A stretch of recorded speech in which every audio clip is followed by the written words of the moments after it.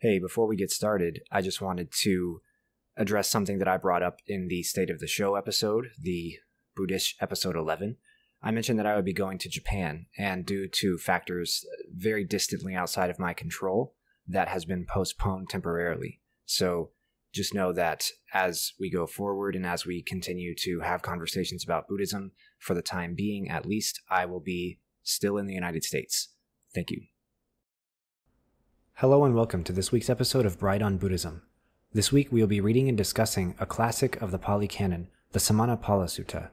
This sutta's title translates to The Fruits of the Contemplative Life, and in it, King Ajatasattu, the monarch of the Magadha kingdom from which the Buddha himself hails, feels the desire to hear a Dharma discourse and questions six renunciants.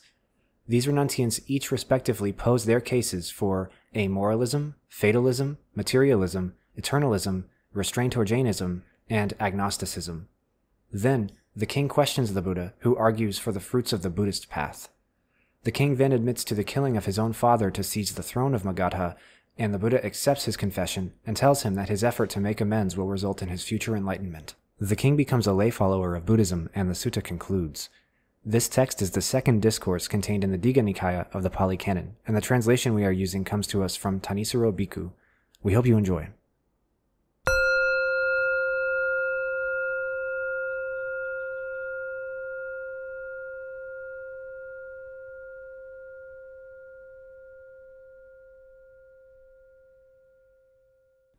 I have heard that on one occasion the Blessed One was staying at Rajagriha in Jivaka Kamarabhacha's mango grove with a large sangha of monks, 1250 monks in all.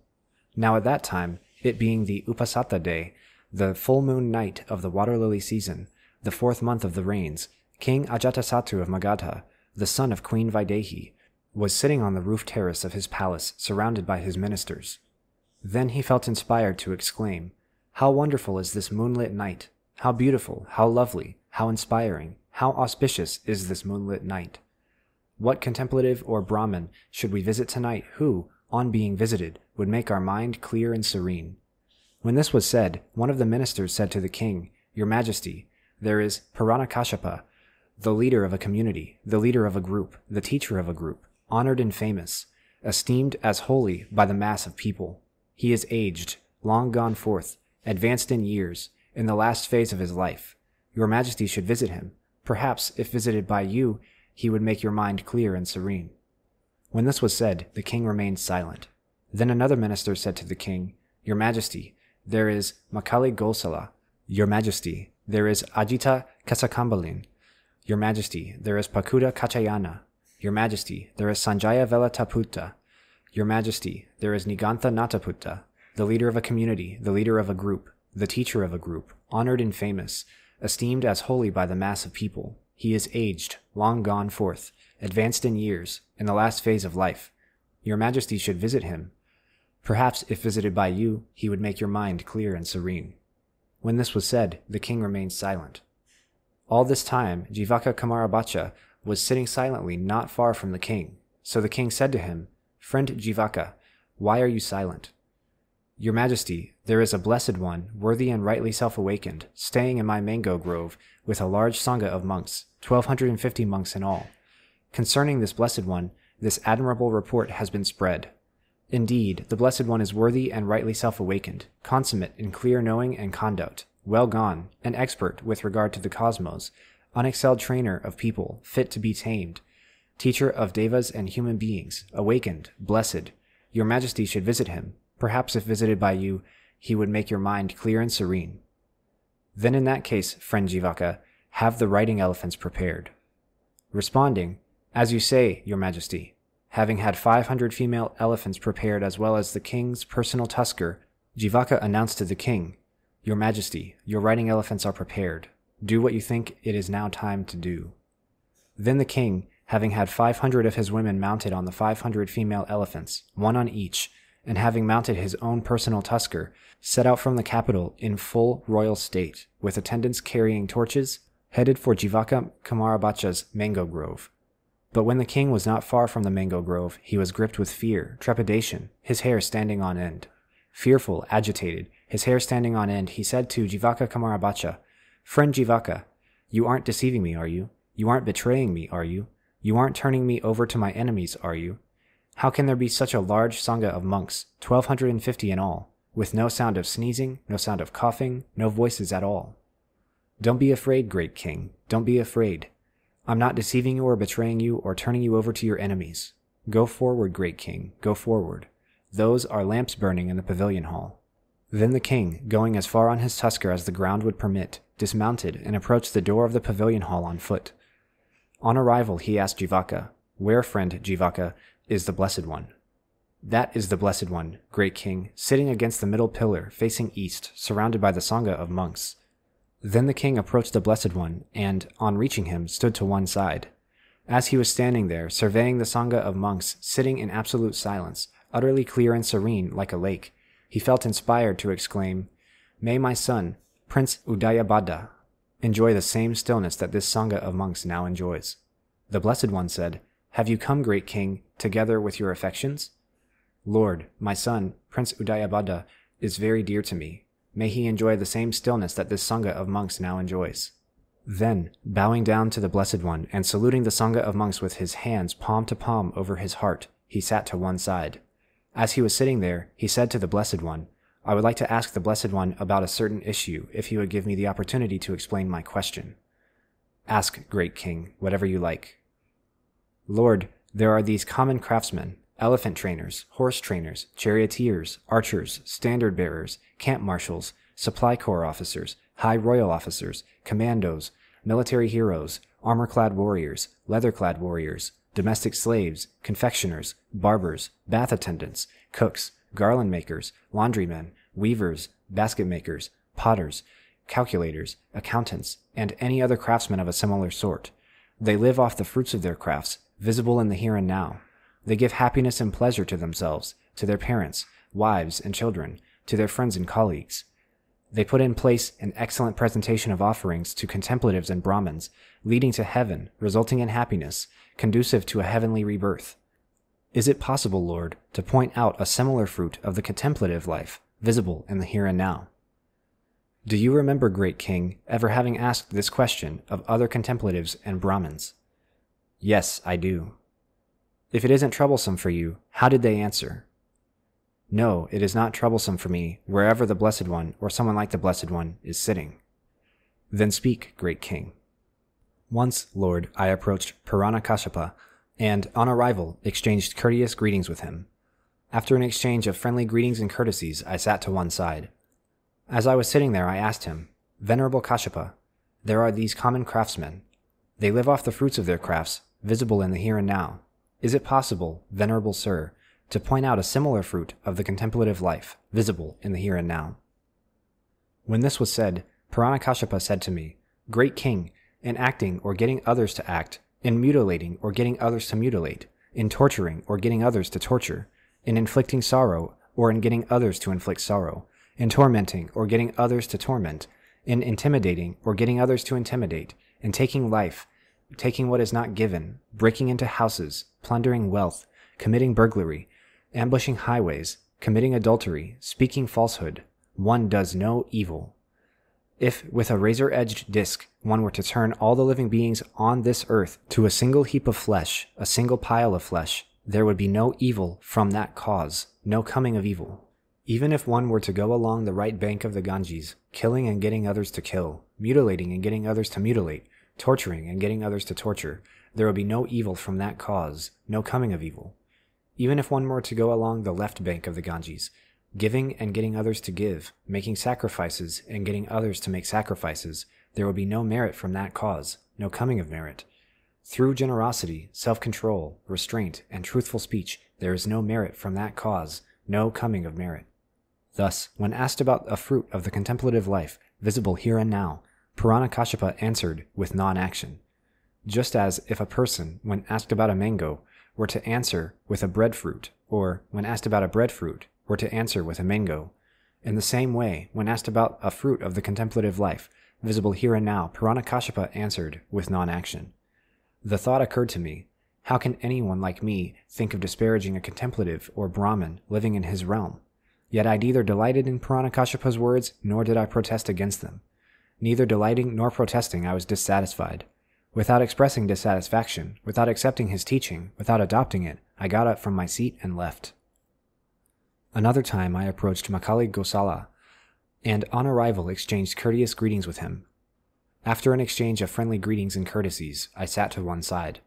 As I was sitting there, I asked him, Venerable Gosala, there are these common craftsmen. They live off the fruits of their crafts, visible in the here and now. Is it possible, Venerable Sir, to point out a similar fruit of the contemplative life, visible in the here and now? When this was said, Makkhali Gosala said to me, Great King, there is no cause, no requisite condition, for the defilement of beings. Beings are defiled without cause, without requisite condition. There is no cause, no requisite condition for the purification of beings. Beings are purified without cause, without requisite condition. There is nothing self caused, nothing other caused, nothing human caused. There is no strength, no effort, no human energy, no human endeavor. All living beings, all life, all beings, all souls are powerless, devoid of strength, devoid of effort. Subject to the changes of fate, serendipity, and nature, they are sensitive to pleasure and pain in the six great classes of birth. There are 1,400,000, 6,600 principal modes of origin. There are 500 kinds of karma, 5 kinds and 3 kinds, full karma and half karma. There are 62 pathways, 62 sub eons, 6 wanderers, 4,900 naga abodes, 2,000 faculties, 3,000 hells, 36 dust realms, seven spheres of percipient beings, seven spheres of non percipient beings, seven kinds of jointed plants, seven kinds of deities, seven kinds of human beings, seven kinds of demons, seven great lakes, seven major knots, seven minor knots, 700 major precipices, 700 minor precipices, 700 major dreams, 700 minor dreams, 84,000 great eons. Having transmigrated and wandered on through these, the wise and the foolish alike will put an end to pain. Though one might think, through this morality, this practice, this austerity, or this holy life, I will ripen unripened karma and eliminate ripened karma whenever touched by it, that is impossible. Pleasure and pain are measured out. The wandering on is fixed in its limits. There is no shortening or lengthening, no accelerating or decelerating. Just as a ball of string, when thrown, comes to its end simply by unwinding, in the same way, having transmigrated and wandered on, the wise and the foolish alike will put an end to pain. Thus, when asked about a fruit of the contemplative life, visible here and now, Makkhali Gosala answered with purification through wandering on, just as if a person, when asked about a mango, were to answer with a breadfruit, or, when asked about a breadfruit, were to answer with a mango. In the same way, when asked about a fruit of the contemplative life, visible here and now, Makkhali Gosala answered with purification through wandering on. The thought occurred to me how can anyone like me think of disparaging a contemplative or Brahmin living in his realm? Yet I neither delighted in Makkhali Gosala's words nor did I protest against them. Neither delighting nor protesting, I was dissatisfied. Without expressing dissatisfaction, without accepting his teaching, without adopting it, I got up from my seat and left. Another time, I approached Ajita Kesakambalan, and, on arrival, exchanged courteous greetings with him. After an exchange of friendly greetings and courtesies, I sat to one side. As I was sitting there, I asked him, Venerable Ajita, there are these common craftsmen. They live off the fruits of their crafts, visible in the here and now.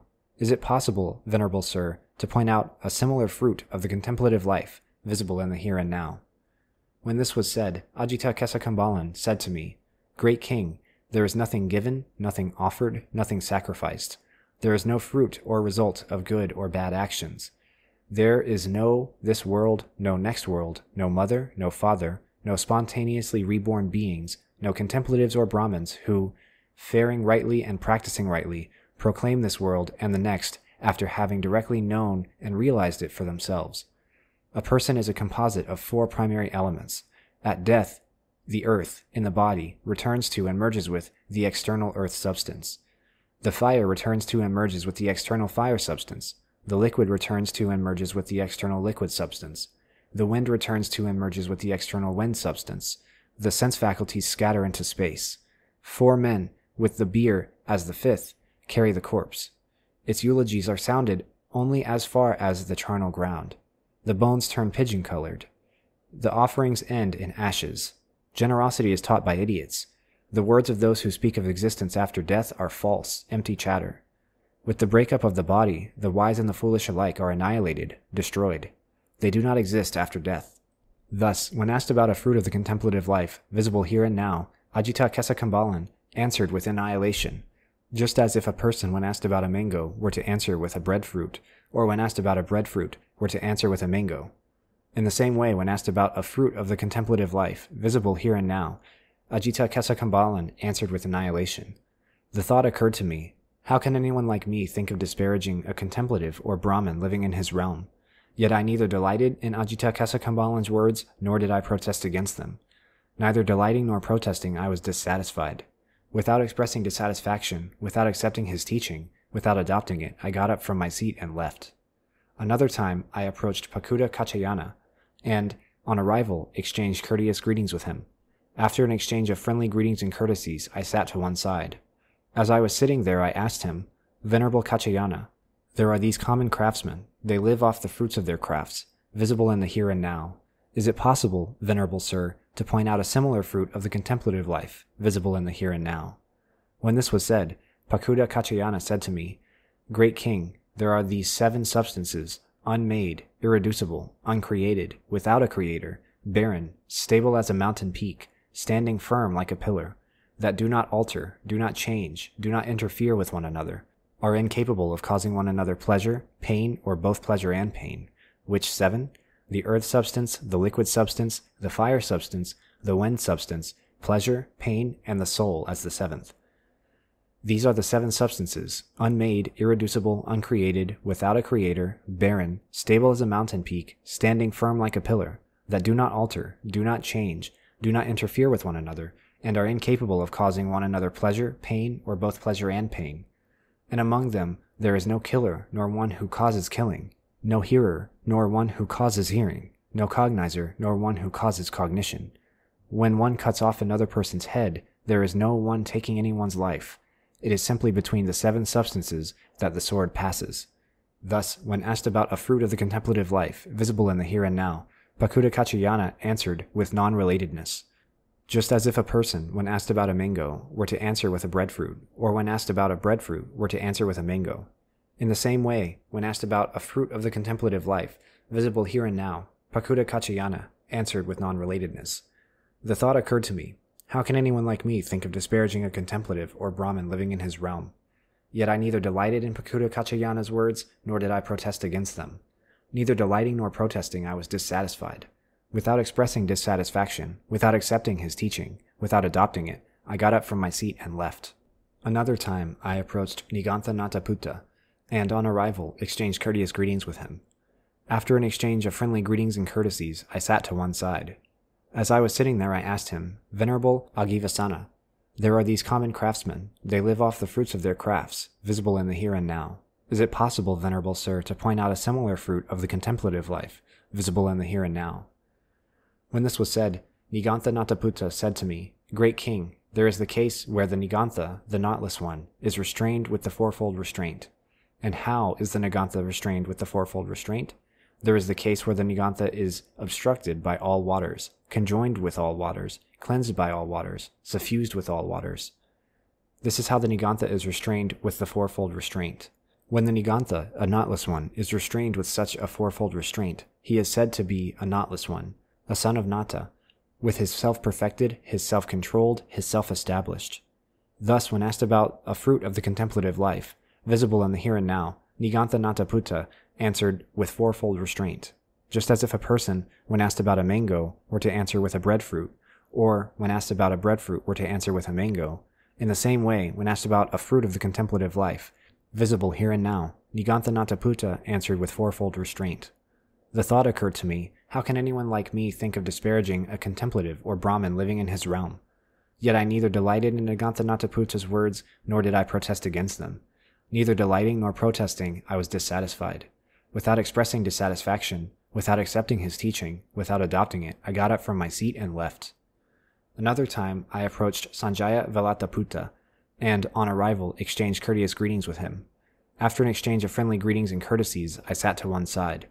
As I was sitting there, I asked him, Venerable Sanjaya, there are these common craftsmen. They live off the fruits of their crafts, visible in the here and now.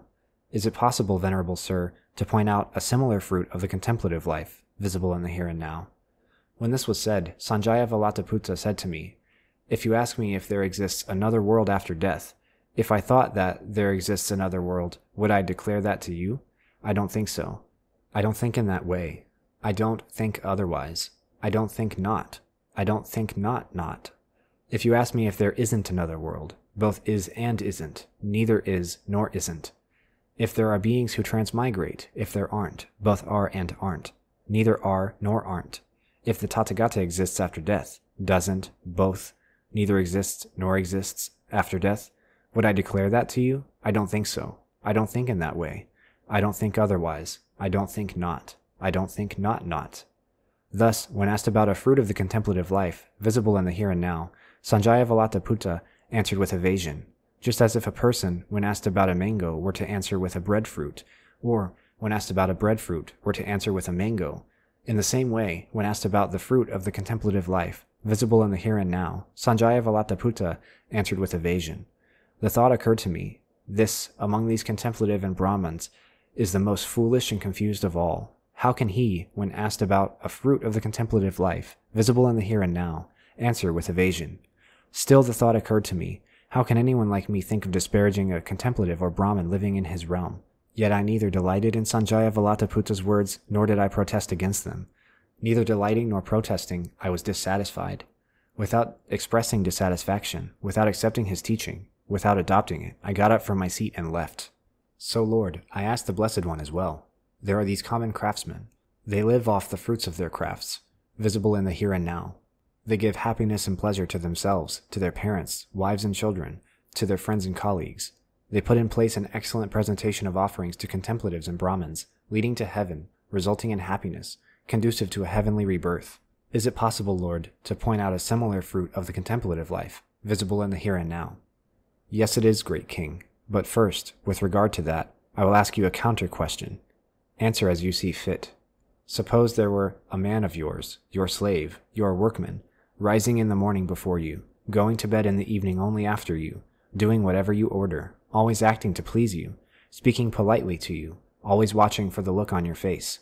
The thought would occur to him, isn't it amazing, isn't it astounding, the destination, the results of meritorious deeds, for this King Ajatasattu is a human being, and I too am a human being. Yet King Ajatasattu enjoys himself supplied and replete with the five strings of sensuality, like a deva, as it were, while I am his slave, his workman, always watching for the look on his face. I too should do meritorious deeds. What if I were to shave off my hair and beard, put on the ochre robes, and go forth from the household life into homelessness? So after some time he shaves off his hair and beard, puts on the ochre robes, and goes forth from the household life into homelessness. Having thus gone forth, he lives restrained in body, speech, and mind, content with the simplest food and shelter, delighting in solitude. Then suppose one of your men were to inform you, you should know, your majesty, that a man of yours, your slave, your workman, always watching for the look on your face, has gone forth from the household life into homelessness, content with the simplest food and shelter, delighting in solitude. Would you, thus informed, say, Bring that man back to me, Make him again be my slave, my workman, always watching for the look on my face. Not at all, Lord. Rather, I am the one who should bow down to him, rise up out of respect for him, invite him to a seat, invite him to accept gifts of robes, alms food, lodgings, and medicinal requisites for the sick, and I would provide him with righteous safety, defense, and protection. So what do you think, great king? With that being the case, is there a visible fruit of the contemplative life, or is there not? Yes, Lord, with that being the case, there certainly is a visible fruit of the contemplative life. This great king is the first fruit of the contemplative life, visible in the here and now, that I point out to you. But is it possible, Lord, to point out yet another fruit of the contemplative life, visible in the here and now? Yes, it is, great king, but first, with regard to that, I will ask you a counter question. Answer however you please. Suppose there were a man of yours, a farmer, a householder, a taxpayer, swelling the royal treasury, the thought would occur to him, isn't it amazing? Isn't it astounding? The destination, the results of meritorious deeds. For this King Ajatasattu is a human being, and I too am a human being. Yet King Ajatasattu enjoys himself supplied and replete with the five strings of sensuality, like a deva as it were, while I am a farmer, a householder, a taxpayer swelling the royal treasury. I too should do meritorious deeds. What if I were to shave off my hair and beard, put on the ochre robes, and go forth from the household life into homelessness? So after some time he abandons his massive wealth, large or small, leaves his circle of relatives, large or small, shaves off his hair and beard, puts on the ochre robes, and goes forth from the household life into homelessness. Having thus gone forth, he lives restrained in body, speech, and mind, content with the simplest food and shelter, delighting in solitude. Then suppose one of your men were to inform you, you should know, your majesty, that that man of yours, the farmer, the householder, the taxpayer swelling the royal treasury, has gone forth from the household life into homelessness, content with the simplest food and shelter, delighting in solitude. Would you, thus informed, say, Bring that man back to me, make him again be a farmer, a householder, a taxpayer swelling the royal treasury? Not at all, Lord. Rather, I am the one who should bow down to him, rise up out of respect for him, invite him to a seat, invite him to accept gifts of robes, alms food, lodgings, and medicinal requisites for the sick, and I would provide him with righteous safety, defense, and protection. So what do you think, great king? With that being the case, is there a visible fruit of the contemplative life, or is there not? Yes, Lord. With that being the case, there certainly is a visible fruit of the contemplative life. This, great king, is the second fruit of the contemplative life, visible in the here and now, that I point out to you. But is it possible, Lord, to point out yet another fruit of the contemplative life, visible in the here and now? Yes, it is, great king. Listen and pay close attention. I will speak. There is the case, great king, where a Tathagata appears in the world, worthy and rightly self awakened. He teaches the Dharma, admirable in its beginning, admirable in its middle, admirable in its end. He proclaims the holy life, both in its particulars and in its essence, entirely perfect, surpassingly pure. A householder or householder's son, hearing the Dharma, gains conviction in the Tathagata and reflects household life is confining, a dusty path, Life gone forth is the open air. It isn't easy living at home to practice the holy life totally perfect, totally pure, a polished shell. What if I, having shaved off my hair and beard and putting on the ochre robe, were to go forth from the household life into homelessness? So after some time he abandons his massive wealth, large or small, leaves his circle of relatives large or small, shaves off his hair and beard, puts on the ochre robes, and goes forth from the household life into homelessness. When he has thus gone forth, he lives restrained by the rules of the monastic code, seeing danger in the slightest faults. Consummate in his virtue, he guards the doors of his senses, is possessed of mindfulness and alertness, and is content. And how is a monk consummate in virtue? Abandoning the taking of life, he abstains from the taking of life. He dwells with his rod laid down, his knife laid down, scrupulous, merciful, compassionate for the welfare of all living beings. This is part of his virtue. Abandoning the taking of what is not given, he abstains from the taking of what is not given. He takes only what is given, accepts only what is given, lives not by stealth but by means of a self that has become pure. This too is part of his virtue. Abandoning uncelibacy, he lives a celibate life, aloof, restraining from a sexual act that is the villager's way. This too is part of his virtue. Abandoning false speech, he abstains from false speech. He speaks the truth, holds to the truth, is firm, reliable, no deceiver of the world. This too is part of his virtue. Abandoning divisive speech, he abstains from divisive speech. What he has heard here, he does not tell there, to break those people apart from those people here. What he has heard there, he does not tell here to break these people apart from those people there. Thus reconciling those who have broken apart or cementing those who are united, he loves concord, delights in concord, enjoys concord, speaks things that create concord. This too is part of his virtue. Abandoning abusive speech, he abstains from abusive speech. He speaks words that are soothing to the ear, that are affectionate, that go to the heart, that are polite, appealing and pleasing to all people at large. This too is part of his virtue. Abandoning idle chatter, he abstains from idle chatter. He speaks in season, speaks what is factual, what is in accordance with the goal, the Dharma, and the Vinaya, he speaks words worth treasuring, seasonable, reasonable, circumscribed, connected with the goal. This too is part of his virtue. He abstains from damaging seed and plant life. He eats only once a day, refraining from the evening meal and from food at the wrong time of day. He abstains from dancing, singing, instrumental music, and from watching shows. He abstains from wearing garlands and from beautifying himself with scents and cosmetics. He abstains from high and luxurious beds and seats. He abstains from accepting gold and money. He abstains from accepting uncooked grain, raw meat, women and girls, male and female slaves, goats and sheep, fowl and pigs, elephants, cattle, steeds, and mares, fields and property. He abstains from running messages, from buying and selling, from dealing with false scales, false metals, and false measures, from bribery, deception, and fraud. He abstains from mutilating, executing, imprisoning, highway robbery, plunder, and violence. This too is part of his virtue. Whereas some contemplatives and Brahmins, living off food given in faith, remain addicted to damaging seed and plant life such as these, plants propagated from roots, stems, joints, buddings, and seeds, he abstains from damaging seed and plant life such as these. This too is part of his virtue. Whereas some contemplatives and Brahmins, living off food given in faith, remain addicted to consuming stored up goods such as these stored up food, stored up drinks, stored up clothing, stored up vehicles, stored up bedding, stored up scents, and stored up meat, he abstains from consuming stored up goods such as these. This too is a part of his virtue.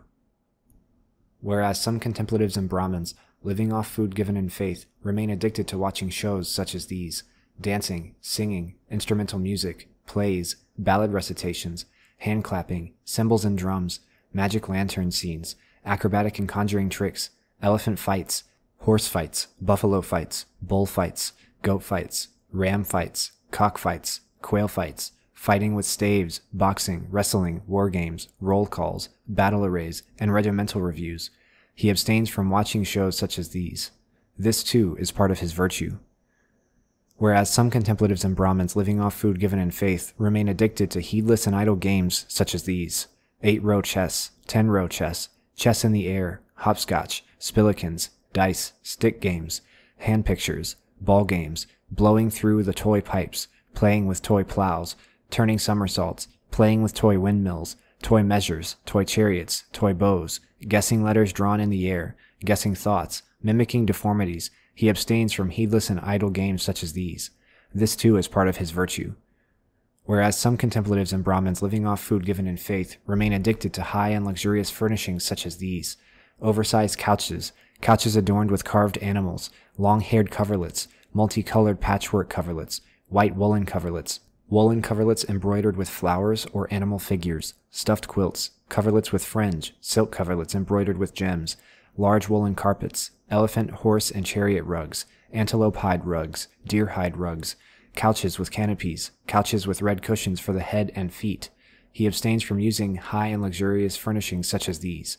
This too is part of his virtue.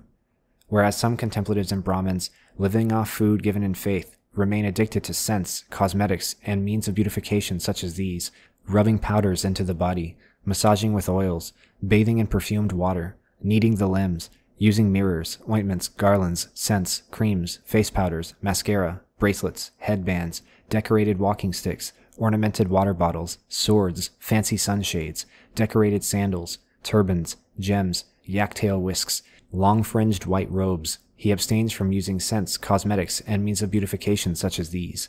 This too is part of his virtue. Whereas some contemplatives and Brahmins, living off food given in faith, remain addicted to talking about lowly topics such as these talking about kings, robbers, ministers of state, armies, alarms and battles, food and drink, clothing, furniture, garlands and scents, relatives, vehicles, villages, towns, cities, the countryside, women and heroes, the gossip of the street and the well, tales of the dead, tales of diversity on philosophical discussions of the past and future, the creation of the world and of the sea, and talk of whether things exist or not. He abstains from talking about lowly topics such as these. This too is part of his virtue whereas some contemplatives and Brahmins living off food given in faith remain addicted to debates such as these. You understand this doctrine and discipline. I'm the one who understands this doctrine and discipline. How could you understand this doctrine and discipline? You are practicing wrongly. I'm practicing rightly. I'm being consistent. You are not. What should be said first, you said last. What should be said last, you said first. What you took so long to think out has been refuted. Your doctrine has been overthrown. You're defeated. Go and try to salvage your doctrine, extricate yourself if you can. He abstains from debates such as these. This too is part of his virtue. Whereas some contemplatives and Brahmins, living off food given in faith, remain addicted to running messages and errands for people such as these kings, ministers of state, noble warriors, Brahmins, householders, or youths, who say, Go here, go there, take this there, fetch that here. He abstains from running messages and errands for people such as these. This too is part of his virtue Whereas some contemplatives and Brahmins, living off food given in faith, engage in scheming, persuading, hinting, belittling, and pursuing gain with gain, he abstains from forms and scheming and persuading, which are improper ways of trying to gain material support from donors, such as these. This too is part of his virtue. Whereas some contemplatives and Brahmins, living off food given in faith, maintain themselves by wrong livelihood by such animal arts as reading marks on the limbs, reading omens and signs, interpreting celestial events, interpreting dreams, reading features of the body, reading marks on cloth gnawed by mice, offering fire oblations, oblations from a ladle, oblations of husks, rice powder, rice grains, ghee, and oil, offering oblations from the mouth, offering blood sacrifices, making predictions based on the fingertips, geomancy, making predictions for state officials, laying demons in a cemetery, placing spells on spirits, earth skills, snake skills, poison skills, scorpion skills, rat skills, bird skills, crow skills, predicting lifespans, giving protective charms, casting horoscopes. He abstains from wrong livelihood from animal arts such as these. Whereas some contemplatives and Brahmins, living off food given in faith, maintain themselves by wrong livelihood by such animal arts as determining lucky and unlucky gems, staffs, garments, swords, arrows, bows, and other weapons, women, men, boys, girls, male slaves, female slaves, elephants, horses, buffaloes, bulls, cows, goats, rams, fowl, quails, lizards, rabbits, tortoises, and other animals. He abstains from wrong livelihood from animal arts such as these. Whereas some contemplatives and Brahmins, living off food given in faith, maintain themselves by wrong livelihood by such animal arts as forecasting the rulers will march forth, the rulers will not march forth, our rulers will attack, and their rulers will retreat. Their rulers will attack, and our rulers will retreat. There will be triumph for our rulers and defeat for their rulers. There will be triumph for their rulers and defeat for our rulers. Thus, there will be triumph for this one, defeat for that one. He abstains from wrong livelihood, from animal arts such as these. Whereas some contemplatives and Brahmins, living off food given in faith, maintain themselves by wrong livelihood, by such animal arts as forecasting, there will be a lunar eclipse, there will be a solar eclipse, there will be an occultation of an asterism, the sun and moon will be favorable, the sun and moon will be unfavorable, the asterisms will be favorable, the asterisms will be unfavorable, there will be a meteor shower, there will be a flickering light on the horizon, there will be an earthquake, there will be thunder coming from dry clouds, there will be a rising, a setting, a darkening, a brightening of the sun, moon, and asterisms. Such will be the result of the lunar eclipse, the rising, setting, darkening, brightening of the sun, moon, and asterisms. He abstains from wrong livelihood, from animal arts such as these. Whereas some contemplatives and Brahmins, living off food given in faith, maintain themselves by wrong livelihood, by such animal arts as forecasting, there will be abundant rain, there will be a drought, there will be plenty, there will be famine, there will be rest and security, there will be danger, there will be disease, there will be freedom from disease, or they earn their living by accounting, counting, calculation, composing poetry, or teaching hedonistic arts and doctrines. He abstains from wrong livelihood, from animal arts such as these. Whereas some contemplatives and Brahmins, living off food given in faith, maintain themselves by wrong livelihood, by such animal arts as calculating auspicious dates for marriages, both those in which the bride is brought home and those in which she is sent out, calculating auspicious dates for betrothals and divorces, for collecting debts or making investments and loans, reciting charms to make people attractive or unattractive, curing women who have undergone miscarriages or abortions, reciting spells to bind a man's tongue, to paralyze his jaws, to make him lose control over his hands, or to bring on deafness, getting oracular answers to questions addressed to a spirit in a mirror in a young girl, or to a spirit medium, worshipping the sun, worshipping the great Brahma, bringing forth flames from the mouth, invoking the goddess of luck, he abstains from wrong livelihood, from animal arts such as these. Whereas some contemplatives and Brahmins, living off food given in faith, maintain themselves by wrong livelihood, by animal arts such as promising gifts to deities in return for favors, fulfilling such promises, demonology, reciting spells in earth houses, inducing virility and impotence, preparing sites for construction, consecrating sites for construction, giving ceremonial mouthwashes and ceremonial baths, offering sacrificial fires, administering emetics, purges, purges from above, purges from below, head purges, ear oil, eye drops, treatments through the nose, ointments and counter ointments, practicing eye surgery, general surgery, pediatrics, administering root medicines and binding medicinal herbs. He abstains from wrong livelihood, from animal arts such as these. This too is part of his virtue. And how does a monk guard the doors of his senses? On seeing a form with the eye, he does not grasp at any theme or details by which, If he were to dwell without restraint over the faculty of the eye, evil, unskilful qualities such as greed or distress might assail him. On hearing a sound with the ear, on smelling an aroma with the nose, on tasting flavor with the tongue, on touching a tactile sensation with the body, on cognizing an idea with the intellect, he does not grasp at any theme or details by which, if he were to dwell without restraint over the faculty of the intellect, evil, unskilful qualities such as greed or distress might assail him. Endowed with this noble restraint over the sense faculties, he is inwardly sensitive to the pleasure of being blameless. This is how a monk guards the doors of his senses. And how is a monk possessed of mindfulness and alertness?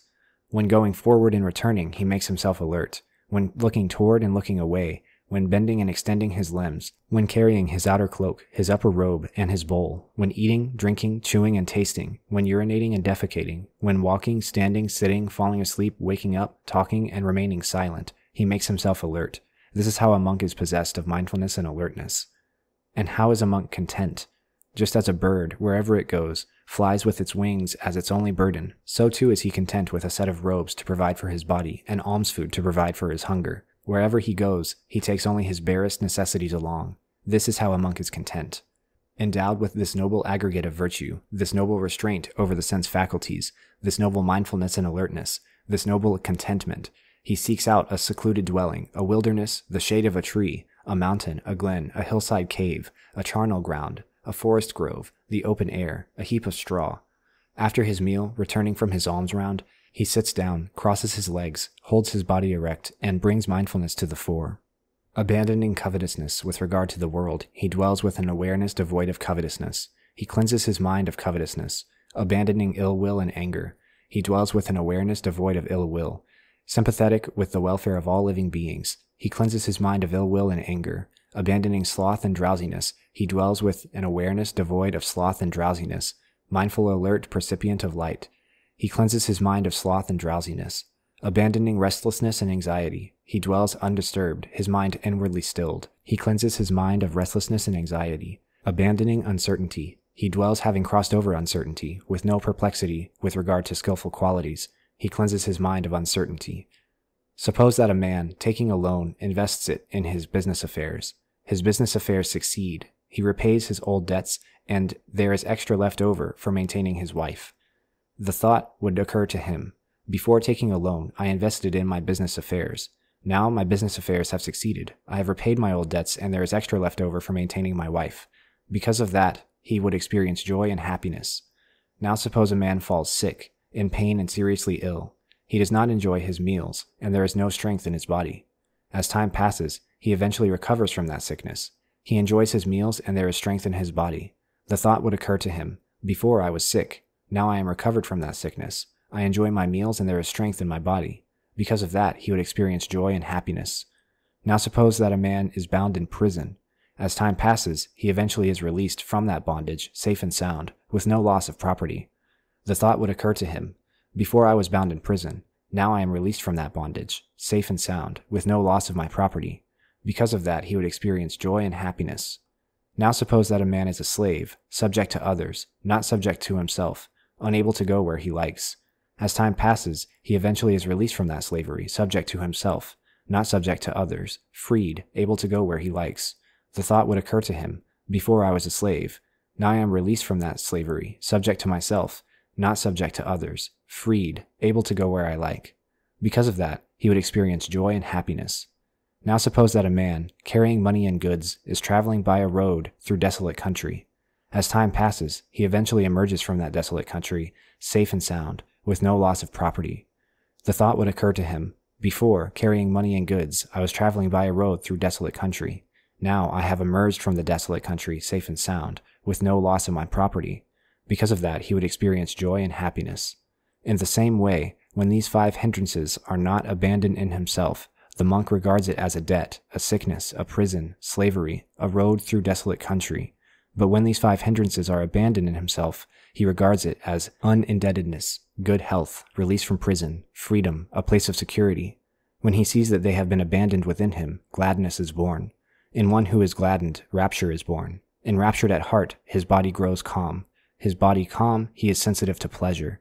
Feeling pleasure, his mind becomes concentrated. Quite secluded from sensuality, secluded from unskilful qualities, he enters and remains in the first jhana, rapture and pleasure born of seclusion, accompanied by directed thought and evaluation.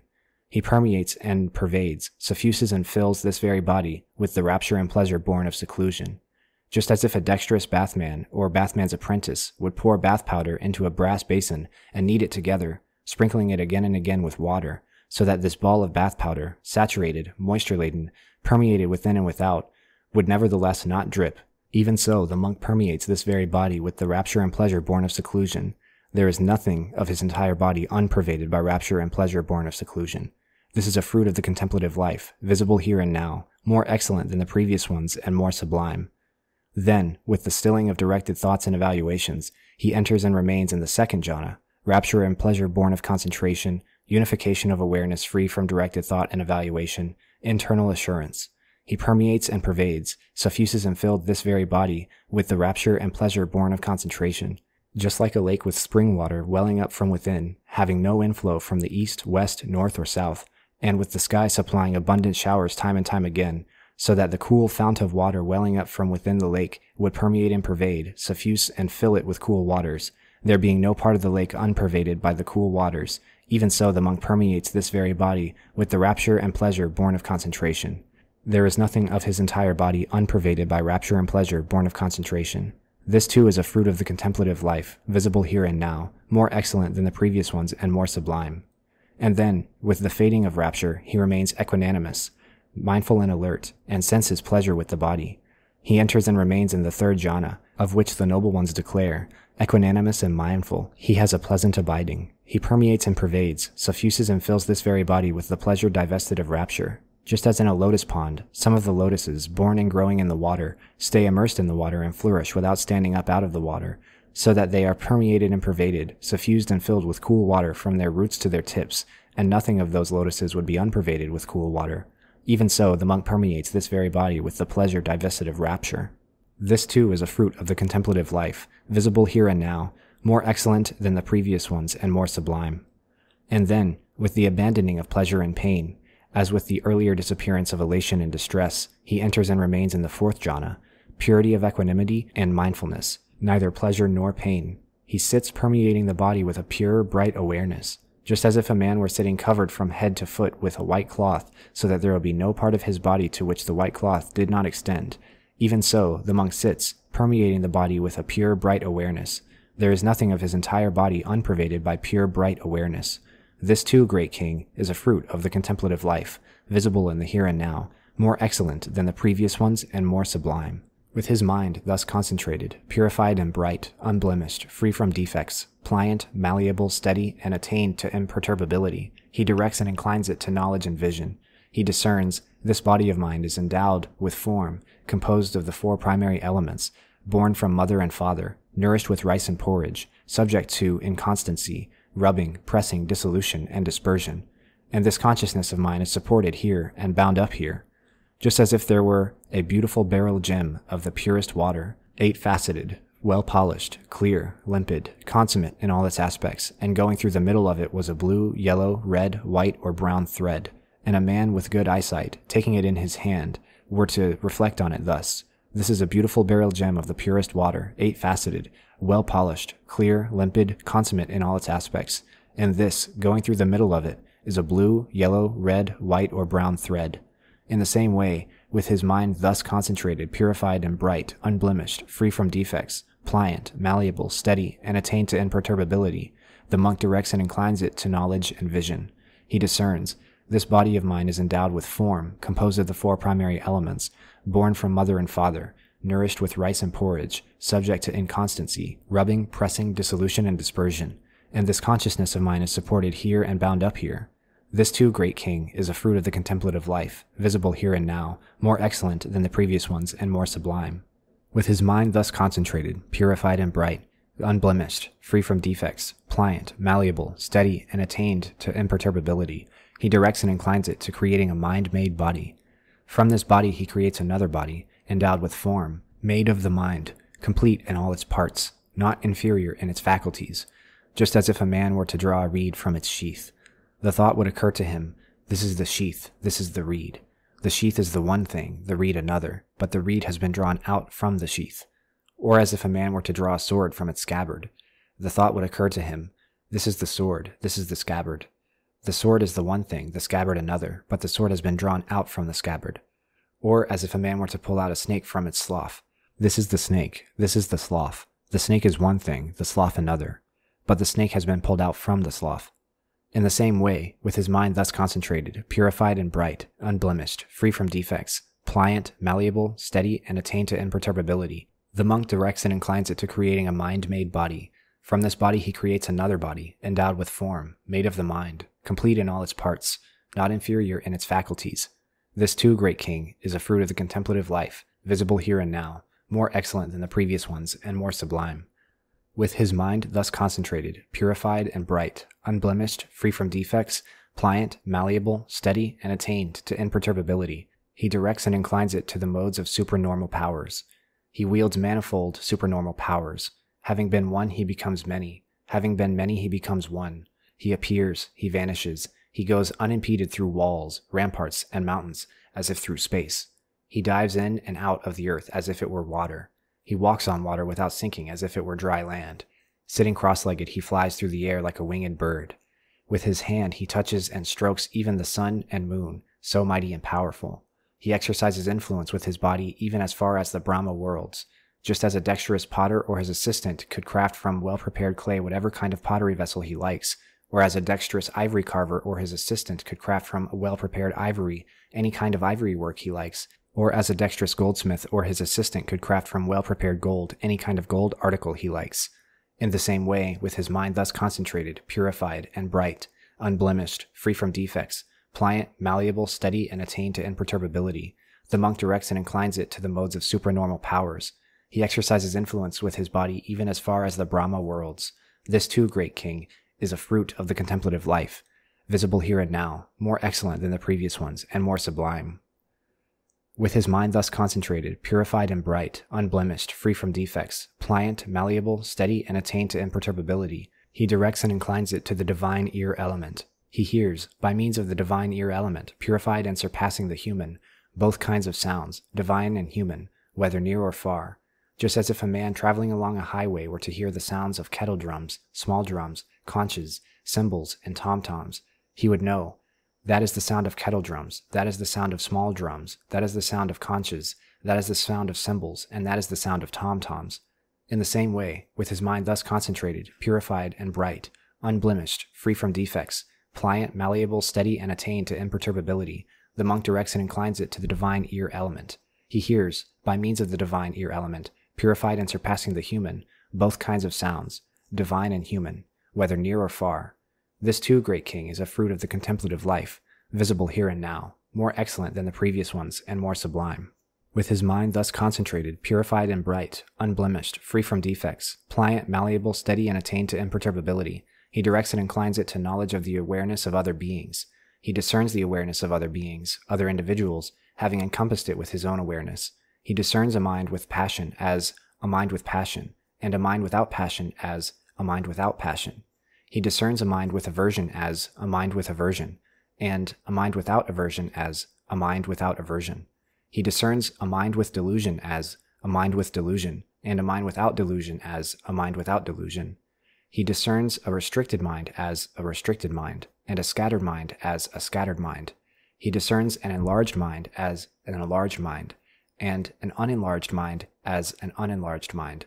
He discerns a surpassed mind one that is not at the most excellent level as a surpassed mind, and an unsurpassed mind as an unsurpassed mind. He discerns a concentrated mind as a concentrated mind, and an unconcentrated mind as an unconcentrated mind. He discerns a released mind as a released mind, and an unreleased mind as an unreleased mind. Just as if a young woman or man, fond of ornaments, examining the reflection of her own face in a bright mirror or bowl of clear water would know, blemished if it were blemished, or unblemished if it were not. In the same way, with his mind thus concentrated, purified and bright, unblemished, free from defects, pliant, malleable, steady, and attained to imperturbability, the monk directs and inclines it to knowledge of the awareness of other beings. He discerns the awareness of other beings, other individuals, having encompassed it with his own awareness.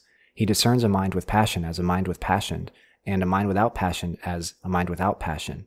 a released mind as a released mind, and an unreleased mind as an unreleased mind. This too, great king, is a fruit of the contemplative life, visible here and now, and more excellent than the previous ones, and more sublime. With his mind thus concentrated, purified and bright, unblemished, free from defects, pliant, malleable, steady, and attained to imperturbability, he directs and inclines it to knowledge of the recollection of past lives. He recollects his manifold past lives, one birth, two births, three births, four, five, ten, twenty, thirty, forty, fifty, one hundred, one thousand, one hundred thousand, many eons of cosmic contraction, many eons of cosmic expansion, many eons of cosmic contraction and expansion, recollecting, there I had such a name, belonged to such a clan, had such an appearance, such was my food, such my experience of pleasure and pain, such the end of my life. Passing away from that state, I re-arose there. There, too, I had such a name, belonged to such a clan, had such an appearance, such was my food, such my experience of pleasure and pain, such the end of my life. Passing away from that state, I re-arose here.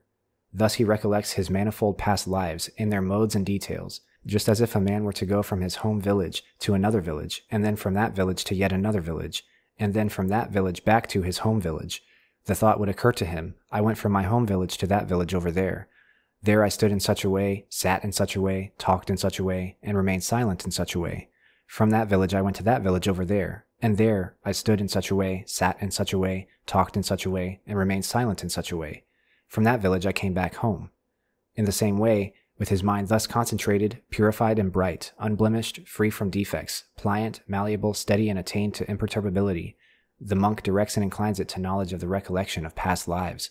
He recollects his manifold past lives, in their modes and details. This too, great king, is a fruit of the contemplative life, visible here and now, more excellent than the previous ones and more sublime. With his mind thus concentrated, purified and bright, unblemished, free from defects, pliant, malleable, steady, and attained to imperturbability, he directs and inclines it to the knowledge of the passing away and reappearance of beings. He sees, by means of the divine eye, purified and surpassing the human, beings passing away and reappearing, and he discerns how they are inferior and superior, beautiful and ugly, fortunate and unfortunate in accordance with their karma. These beings, who were endowed with bad conduct of body, speech, and mind, who reviled the noble ones, held wrong views and undertook actions under the influence of wrong views, with the breakup of the body after death, have reappeared in a plane of deprivation, a bad destination, a lower realm, hell. But these beings, who were endowed with good conduct of body, speech, and mind, who did not revile the noble ones, who held right views and undertook actions under the influence of right views, with the breakup of the body after death, have reappeared in a good destination, a heavenly world. Thus, by means of the divine eye, purified and surpassing the human, he sees beings passing away and reappearing, and he discerns how they are inferior and superior, beautiful and ugly, fortunate and unfortunate in accordance with their karma. Just as if there were a tall building in the central square of a town, and a man with good eyesight standing on top of it were to see people entering a house, leaving it, walking along the street, and sitting in the central square, the thought would occur to him these people are entering a house, leaving it, walking along the streets, and sitting in the central square. In the same way, with his mind thus concentrated, purified, and bright, unblemished, free from defects, pliant, malleable, steady, and attained to imperturbability, the monk directs and inclines it to knowledge of the passing away and reappearance of beings. He sees by means of the divine eye, purified and surpassing the human, beings passing away and reappearing, and he discerns how they are inferior and superior, beautiful and ugly, fortunate and unfortunate, in accordance with their karma.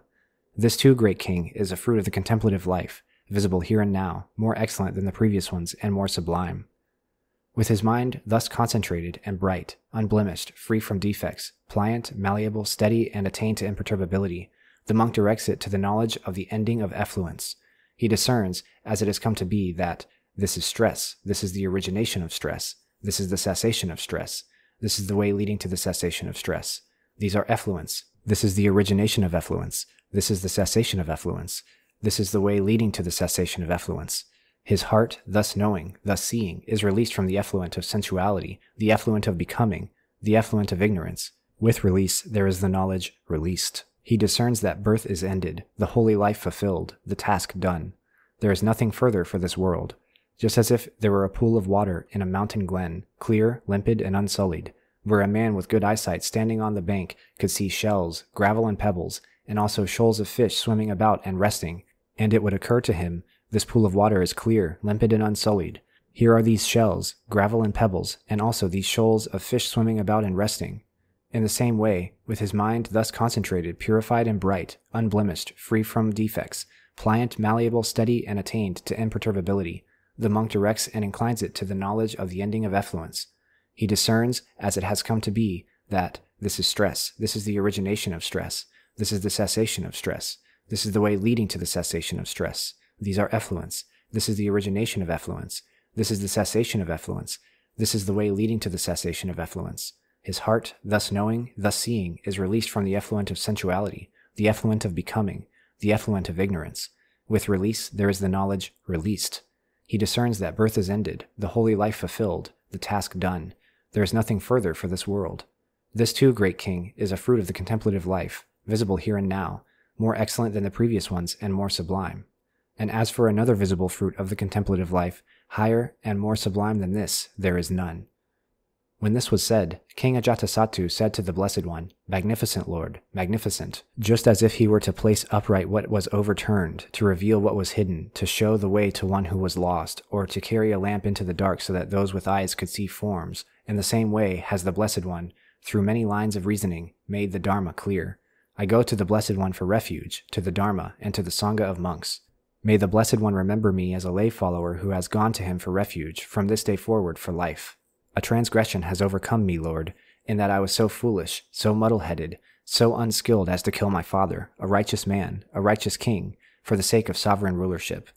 May the Blessed One please accept this confession of my transgression as such, so that I may restrain myself in the future. Yes, great king, a transgression overcame you in that you were so foolish, so muddle headed, and so unskilled as to kill your father, a righteous man, a righteous king, for the sake of sovereign rulership. But because you see your transgression as such, and make amends in accordance with the Dharma, we accept your confession. For it is a cause of growth in the discipline of the noble ones when, seeing a transgression as such, one makes amends in accordance with the Dharma and exercises restraint in the future. When this was said, King Ajatasattu said to the Blessed One, Well then, Lord, I am now taking leave. Many are my duties, many my responsibilities. Then do, great king, what you think it is now time to do.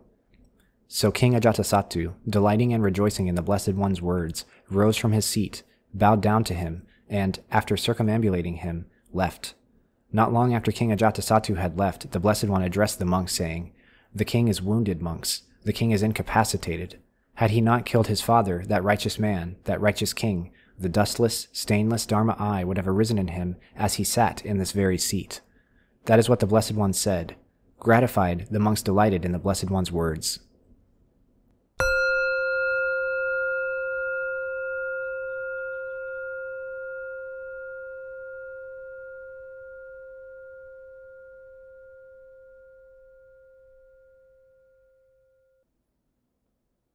All right, that was the Samaññaphala Sutta. Doc, any questions? Several. So let's get into them. So, first of all, this is still Bimbisara and Ajatasattu. So, this is. It seems like the idea is that this is Ajatasattu's uh, first visit with the Buddha, but haven't hasn't he met the Buddha in previous suttas that we've read? Is this just are these just players that get reset between each sutta, or what's going on there? That's a good question. This is actually the first sutta where King Ajatasattu meets the Buddha. So all sutras that we've dealt with where he's a character after this one, he's already been a lay follower of the Buddha before. So this is kind of the the origin of their relationship. Okay. Right, and we're not necessarily reading these in order, so that makes sense. So this is the first one for them. I remember also we're talking about in this talking about people who have renounced. In a previous episode, we talked about how generally it's it's not like the first sons who are renouncing. Um, whereas in this sutta, it seems like anyone can renounce. Is that intentional? Am i misreading? Um or is this like the buddha saying hey anyone should be able to renounce in contrast to what the rest of society is saying? That's also a good question and it's important to put in context the severe changes that we see to early indian society that take place during the life of the Buddha in part because of his movement. So we've talked about in the past how in pre-Buddhist Brahmanical Hindu society, there is a prescribed trajectory that one's life takes based on their caste, their social position, and based on their age and their phase of life. And renunciation was something that happened late in life after one has has raised a family and has perfected their career and is on into their retirement. So all the renunciants that the Buddha talks to are old guys. They are people who have renounced in their old age and they've left their families and their descendants and their careers behind. But the Buddha, as we've talked about, he encourages renunciation at any stage in life, at any social class. Renunciation was something that poorer castes could not do, regardless of their age, because they were slaves or they were untouchables or they fulfilled some sort of critical role to the community and society that prevented them from being able to leave it. So, in this case, all of these renunciants are from somewhat privileged backgrounds, but they've renounced in their old age and they have decided on these philosophies. However, just because they've renounced doesn't mean they don't interact with society in an important way. As we can see in this sutta, for example, whenever a king wants to hear a sermon, hear a doctrine, or hear something to change the way that he thinks about his life, he will seek out these renunciants wherever they are and make offerings to them and listen to what they say. So that's kind of the function that these renunciants play in society at the time. Before the Buddha comes in and says, you can renounce at any time. You should renounce whenever you can, right now, if possible. And you don't have to be privileged, wealthy. You can do it anytime. Okay, makes sense. So the observation that I had was correct, and the Buddha's kind of trying to push against said view. Right. And the women in the pre Buddhist Hindu society didn't do any renouncing at all, right? So when we're talking about this renunciant class, of older men, it's all men. The women, they either just die or they are alone or something like that. They don't get they don't get the privilege to be able to just leave everything behind and just go. In early Buddhism, that's also the case, right? We know that nuns don't become a thing until until about the middle ish of the Buddha's preaching career, but um, they do eventually. Nuns do become a thing, and so in a lot of ways, scholars have argued that the Buddhist social movement or the Buddhist religious movement was pushing against sort of the strict societal structure that was imposed by the Brahmanical philosophy of the time.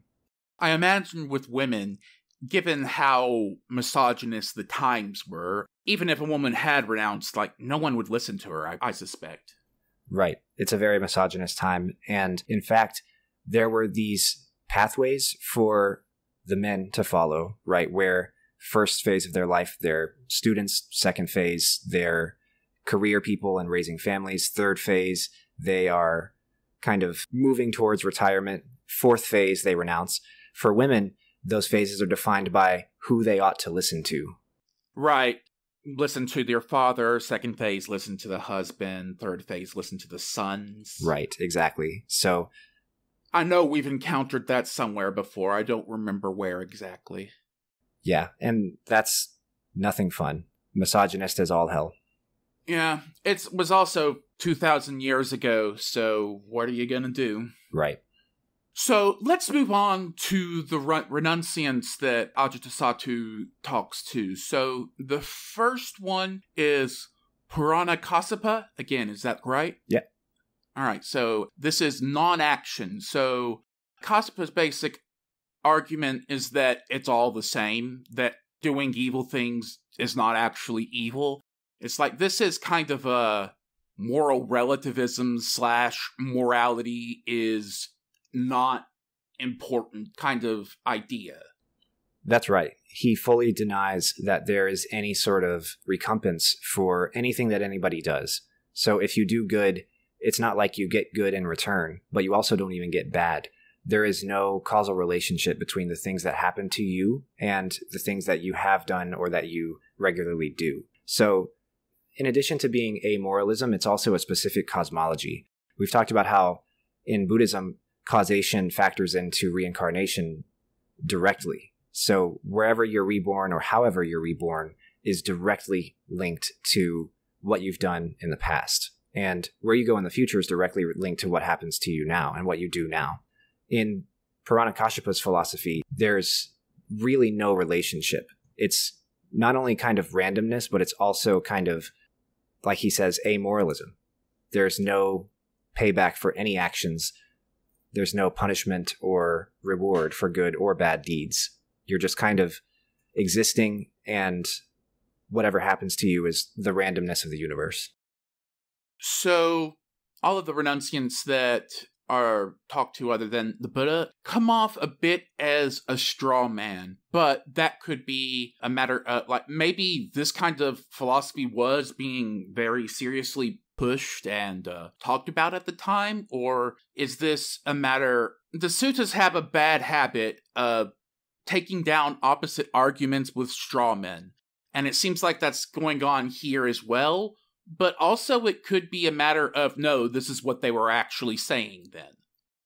I think that there is a little bit of a straw man problem because obviously the the Buddha wants to make his argument be the one on top in the suttas. He doesn't want people to right. Like when he's preaching, he doesn't want people to listen to the account of Ajatasattu's encounter with Purana Kashyapa and be like, huh, he's actually got it right. But there is a system and a structure to how these arguments are presented, and it's actually pretty well thought out, in my opinion, how, from an argumentative and rhetorical standpoint, it's actually shown to us what these people are saying. So we have some evidence that corroborates that these people that we're hearing from, these renunciants, whether they were actual historical teachers or not, some were, some were not, they actually were representative of views in the sutta of prevailing views at the time among different kinds of renunciants in different regions that the Buddha would have encountered and would have had to argue against. So they are sort of selected carefully so that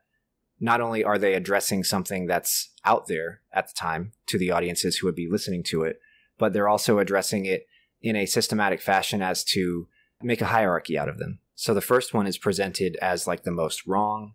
Going up from there, the arguments get progressively more close to what the Buddha is going to say is the truth, but they still are all kind of wrong in their own way. It's interesting then that Ajatasattu comments that the last one, the one that is the most like the Buddhist idea, which I agree with, it is, but he also notes that it is the most misguided. The uh, final one, evasion, is the translation we're using, puts up there. Evasion is mentioned as specifically the most confused. It is, yeah. And there's we can get into the reasons for that whenever we get to that discussion. But I, I also think that that's fascinating because it shows something about Ajatasattu and about what he wants the Buddha to think about him. Yeah. So let's get back to doing these more or less in order. So after Purana Kassapa, there is Makkhali Gosala. That's right, Makkhali Gosala. Makkhali Gosala the translation calls this purification through wandering on. He starts off with here's a billion different numbers. Just here numbers. Some of them are very large. They're coming at you very quickly. Here they are. Let's move on. And then the actual argument is through this morality and a bunch of other things, I will ripen unripened karma and eliminate ripened karma whenever touched by it. This is impossible. Pleasure and pain are measured out. The wandering on is fixed in its limits. So this is more this is kind of a fatalistic view, kind of a everything is fate view it seems like. That's right. Yeah. And in fact, the table that you get whenever you look up these six renunciants online actually argues that this is fatalism. He's saying that all suffering that we exist is predestined, measured out, and is set to happen. And so we just have to keep going. I think that what's important about these renunciants is that they're answering each of them the question of why does suffering exist, which is odd because King Ajatasattu asks them, what's the fruit of the contemplative life? Like, why should one renounce?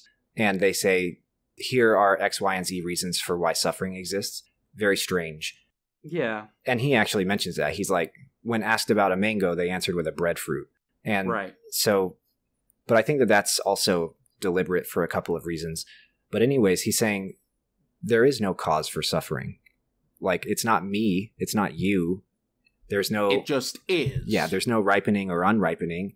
There's no control we have over it. Suffering is going to happen. And the answer to it is to just keep going.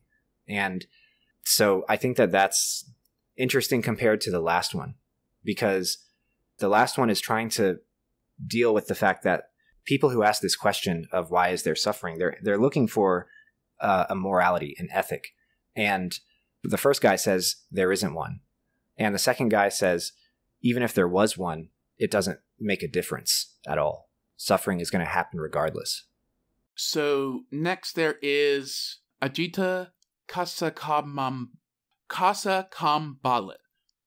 Close, yeah. Kasakambalan. Ajita Kesa Kambali. Kesa Kambalan. Bali or Balin? Bali. Bali. Okay.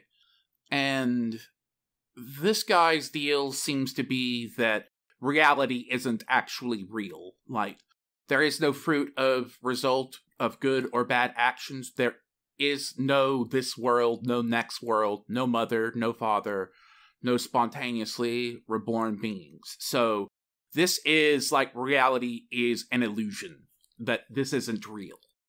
Yeah, it's really interesting. So before we had these questions, which kind of were embedded with this bias toward or against a sort of ethic or morality system. But this guy is addressing something else. So if there's no morality, if there's no ethic, then what about afterlife? What about this reality and whatever happens after death? What about cosmology? And he essentially says there is no cosmology, there is no afterlife, there is no here and there. All we have is what's going on right now. And so the answer to suffering doesn't have anything to do with what is material and what is sensory and what is in front of us. And it also doesn't have to do with what is extrasensory or beyond the senses. It's just what we are doing right now. So the answer to suffering that he provides is in ignorance of any sort of cosmology or afterlife, live happily. Because when you die, the illusion stops, the television switches off, and everything that's on the screen just goes away because it was never really there in the first place. So it's fascinating because this is kind of like a it's kind of like an argument for emptiness that gets wrong halfway through. You know what I mean? At least if we're looking yeah. at right as being the Buddhist argument for emptiness. If you're a Buddhist and you're reading this, you're like, he started off correct with emptiness, but then in the middle, he just kind of hit a wall. And so it's fascinating that he's the third one out of six because he is the one who's first now starting to get close to what the Buddha is having Ajatasattu think about. This is kind of equivalent to a modern day atheist, then. Like, this is like the world is what we can see and there is nothing after it. Yes, yeah. In fact, they classify him as materialist because all we have is what's in front of us, what's accessible to the senses. And of course, the difference is that the argument is that the senses are illusory with this guy, and with actual materialists in the real world, the argument is that they are limited, but they're not showing us holograms. He's saying they're showing us holograms. And so he's saying we only have what is available to the senses. That's what materialists say. But he's also saying they're showing us holograms and that we should just enjoy the hologram. All right. So, next one in the line is Pakudha. Uh, would that be Kaccayana? That's right. Pakudha Kaccayana. The article calls this non related, and it seems quite similar to the previous one. Uh, basically everything are the seven substances, and then he goes through earth substance, liquid substance, fire elements, basically pleasure, pain, and the soul. So these are the seven components of existence, and the, these are unmade, irreducible, uncreated, without a creator, barren, stable as a mountain peak, standing firm like a pillar. So this is starting from a similar spot, whereas like here are the way things are, but he is moving on to a version of it where He's talking a version of it that doesn't change. Like in this version, these do not alter, do not change are his specific words. So things are the way they are, and there's not much you can do about it. It is simply between the seven substances that the sword passes when talking about cutting off someone's head. So it's like, it's all just matter. And because it's all just stuff, it doesn't, there's not really a morality in there. That's right. Yeah, that's that's a good summary of what he's got going on. So he uh, he's very similar to the materialist guy, Ajita Kesakambali, but he's different in that he doesn't say that all that stuff is illusory. He doesn't even really address the existence of sense faculties, the ability to sense these components of matter that he talks about. And this guy is one of my favorite because it's really hard to think through what he's actually arguing and make it make yeah. sense with the evidence we have in front of us. This idea that the seven elements do not interact or change each other, that they just come together and separate, is an early form of what we might call atomism, right? There's this yeah. idea that there's infinitely small components of matter which themselves are unchanging and unchanged and have always been and will always be and they just come together and change. And that's how we see different states of how things are. Uh, this is not atomism necessarily, because in atomism, there's way more components. He's only naming seven. But here it's it's fascinating that they're the pillars of experience, the pillars of reality. And he's saying there is no morality, there's no emptiness, there's no eternity, there's no afterlife, like all this stuff that we just keep coming up with is all made up. It's all kind of fog around these seven pillars. And these seven pillars don't change, don't interact. They often call this guy the eternalist, or he's arguing for eternalism, because he says that no matter what happens in our daily life experience, there are these seven things, there always have been these seven things, and there always will be these seven things. And so he started from the same place as the last guy, but what he, where he ended up was basically the opposite of impermanence. Right. Okay, so next was Naginta Anataputa? The second part was right. It's Nigantha. Nigantha. Nigantha Nataputa. And the, translation lists this as fourfold restraint, and this one went over my head. I didn't get this one. Yeah, this is an interesting one. This is one of the few times where we see actually another major religious movement other than the Brahmanical society that Buddhism existed in and Buddhism itself. Here we actually see Jainism. This character, Nigantha Nataputta, that's actually a title in Jainism. And so we're seeing a representative of people who practice Jainism. And their argument is that and this is not covered in the sutta. I'm offering background so that what he's saying makes a little more sense. In Jainism, karma is like a heavy, dark, or even like black matter that weighs down the soul. And you have to observe absolute restraint in your actions in order to cleanse your soul and free yourself from karma and thus achieve liberation of some kind. So these restraints that he does, these fourfold restraints, these are all basically like ways to act a karmically. So he's saying that the way to cleanse oneself of evil and to avoid evil is to not do these certain things. So Jainism is a really interesting character in this specific hierarchy and the specific setup because the Jains existed at the same time as the Buddha and they were absolutely in dialogue and we just don't often see them in dialogue.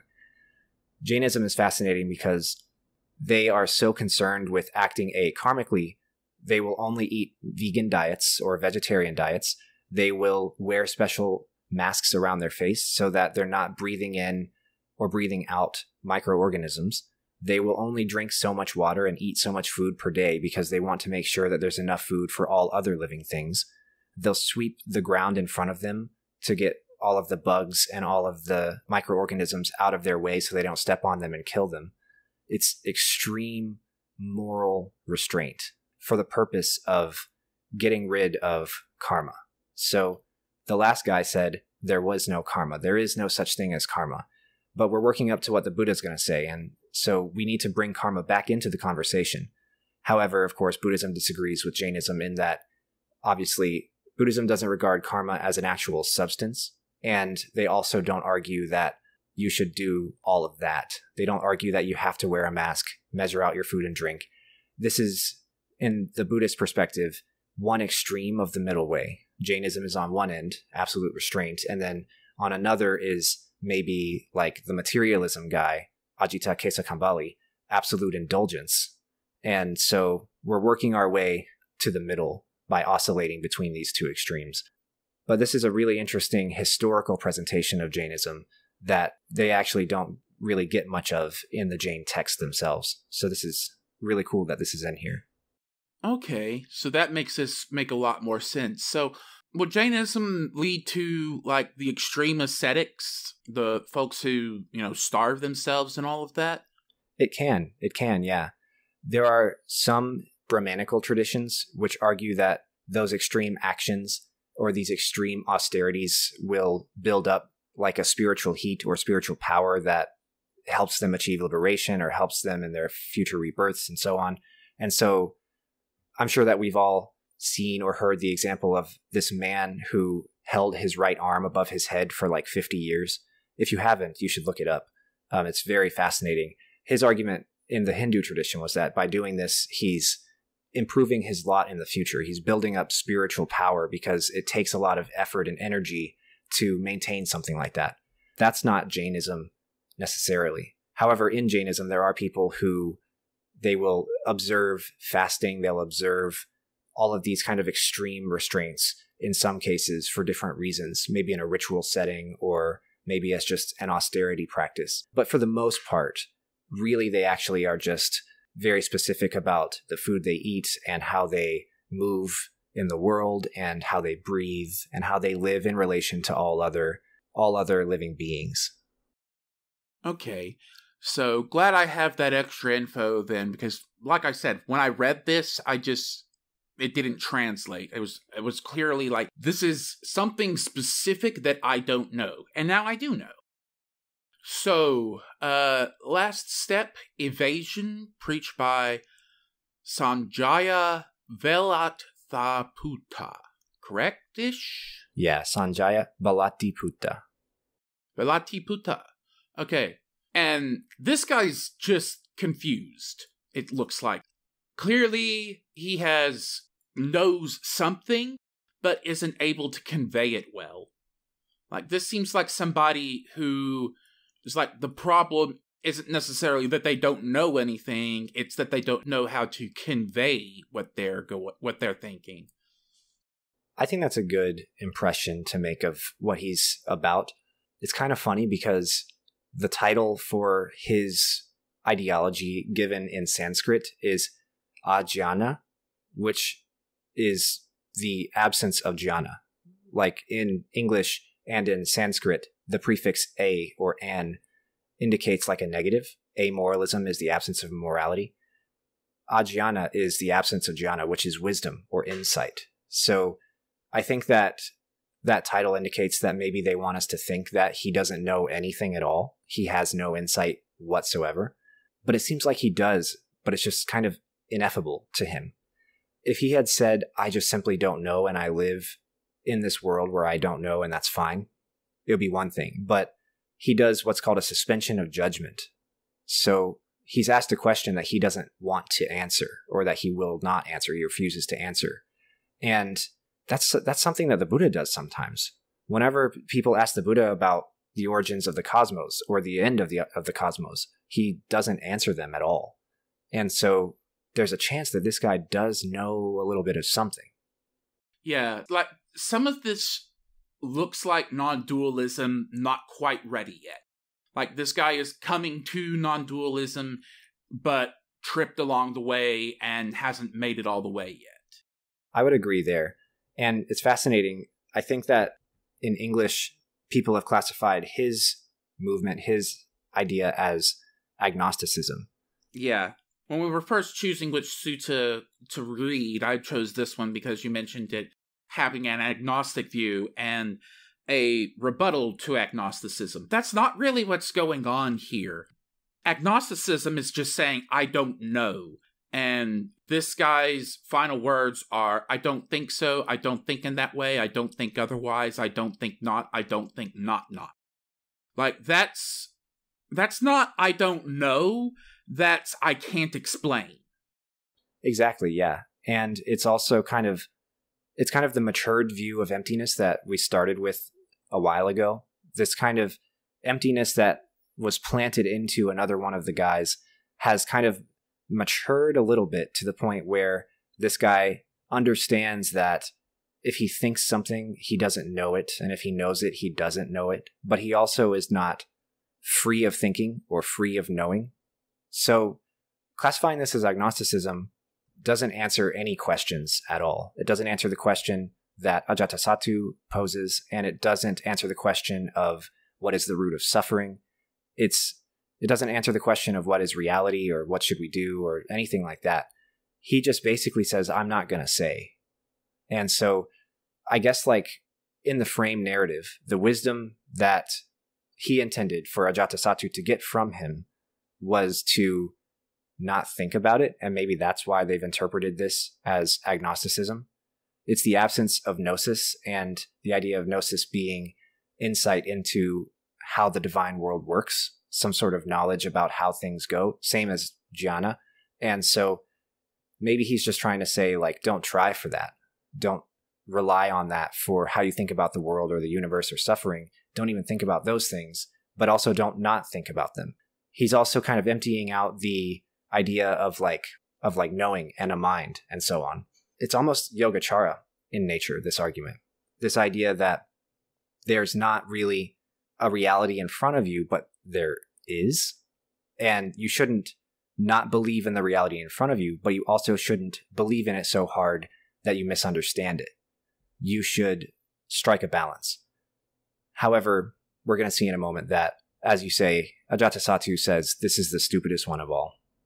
And I understand why, because what he said makes the least apparent sense of the other five. Like, I didn't understand uh, Nigantha's argument, but the context that that's Jainism in mind, that one makes sense. So the others actually have an answer. It's not the answer he's looking for, and it is not the an- answer to the question he asked, but the other five give an answer, whereas Sanjaya is just not answering and sounding very confused and conflicted as he gives that non answer. So, in a vacuum, yes, this is the weakest answer of the six. Yeah, especially given what Ajatasattu wants from him. Yeah. He's not giving any answer to what Ajatasattu wants. But if you look into how he's thinking about it and how he might want Ajatasattu to interpret what he said, then you can kind of see what you were saying before, how he's probably somebody who's very close to the threshold and just hasn't quite crossed it yet. It's somebody who is like just so close to there, right? Because he's doing a very common sort of double negation that we see all the way through Buddhism. When he says, I don't think not, and I don't think not, not, that's a very, very That's very Buddhist. Yeah, exactly. And so he's so close to it, he just doesn't have the rest of the picture. It's almost like he's somebody who's right at the door of enlightenment, but he just never really went across it. At the door, but doesn't have the key. Right. So, once all of those are done in the sutta, we start talking about actual Buddhism. So, a lot of the first section of arguments is the Buddha going, hey, if somebody renounced and went and became a religious person, would you bring them back and make them do what they were doing before? To which our king says, no, not at all, Lord. Does several of those points. So, the idea being here that the fruit of the contemplative life would be the the elevation of people from lower births to higher stations via religion would be the first fruit that the Buddha is speaking of. Yeah, exactly. I like this section a lot too because he's giving what is not often given in Buddhism, and that's a liberation theology. There are a few theologies, like in Christianity, for example, which have been thought up by people across history, like Christianity is the pathway for liberation for black people from white supremacy and racism, or Christianity is liberation of women from the issues of sexism and misogyny. There's specific arguments that are going on in those that are very detailed and we don't need to get into, but what we're seeing here is this structure that exists, the caste system, has slaves and it has farmers, and those people work very hard. And some of them might even enjoy the work that they do. However, just think about how cool it is that they are able to renounce in my way of life in Buddhism. And when they do, all this cool stuff happens. They're content with simple food and shelter, they delight in solitude, and they receive veneration from others. That's awesome. And so you would never say, as their king, come back and get back to being a slave or a farmer because it's so cool that they have the option to just quit and pursue ultimate liberation through my way of thinking. It's a very, very cool argument tactic because he doesn't start talking about the three seals of the Dharma. He doesn't tell him about karma and he doesn't tell them about impermanence and suffering and he doesn't tell them about reincarnation. He immediately just says, Imagine how cool that would be. And then we get to the higher fruits of the contemplative life. So this is talking about great kings also doing basically the same thing. In the section that is titled Higher Fruits of the Contemplative Life, this is saying the same thing, but for kings as well. So it's kind of talking about the contemplative life being a level playing field where the circumstances of one's birth doesn't mean very much. Absolutely. Yeah. And that's very important given what we've seen so far. We have only seen opinions from these few people who have reached the age and are of the social class where renouncing is a thing they do. These are people who not only did that, but then they also gained a following of people around them. Like historically, we can't, in every case, for example, attach Purana Kashyapa to a movement of amoralism. That's not something we can do for each of these guys, right? But we do know that somebody renounced, somebody preached amoralism, and that was in the environment. It was in the ecosystem that the Buddha came up in. And so he had to talk about it. And he was like telling King Ajatasattu, all of these people that you've heard from, they're actually a very small sample size. If you wanted to ask this question, just look at my sample size. You don't even have to get answers from them. You don't have to ask all of them just look how how many of them there are because it rejects the social system in which these people came up. It is something completely and totally different what I'm doing here. And so even high kings and slaves meditate next to each other in what I'm doing for the purpose of enlightenment. So it's it's definitely presenting a democratized version of liberation. It's interesting to me that Ajatasattu, as a member of the royal class, would consider this a positive. I feel like if a actual king were hearing a mystic declare, you know, equality for or, rather an equal path for everyone, that the king would see that as a problem because it's taking people out of his control. So, I guess perhaps it talks to King Ajatasattu's uh, relative merit that he's seeing this as a positive thing. Uh, it could also be just a matter of he's listening to the Buddha, so of course he's going to listen. But that seems not what the ruling class actually wants at all, ever.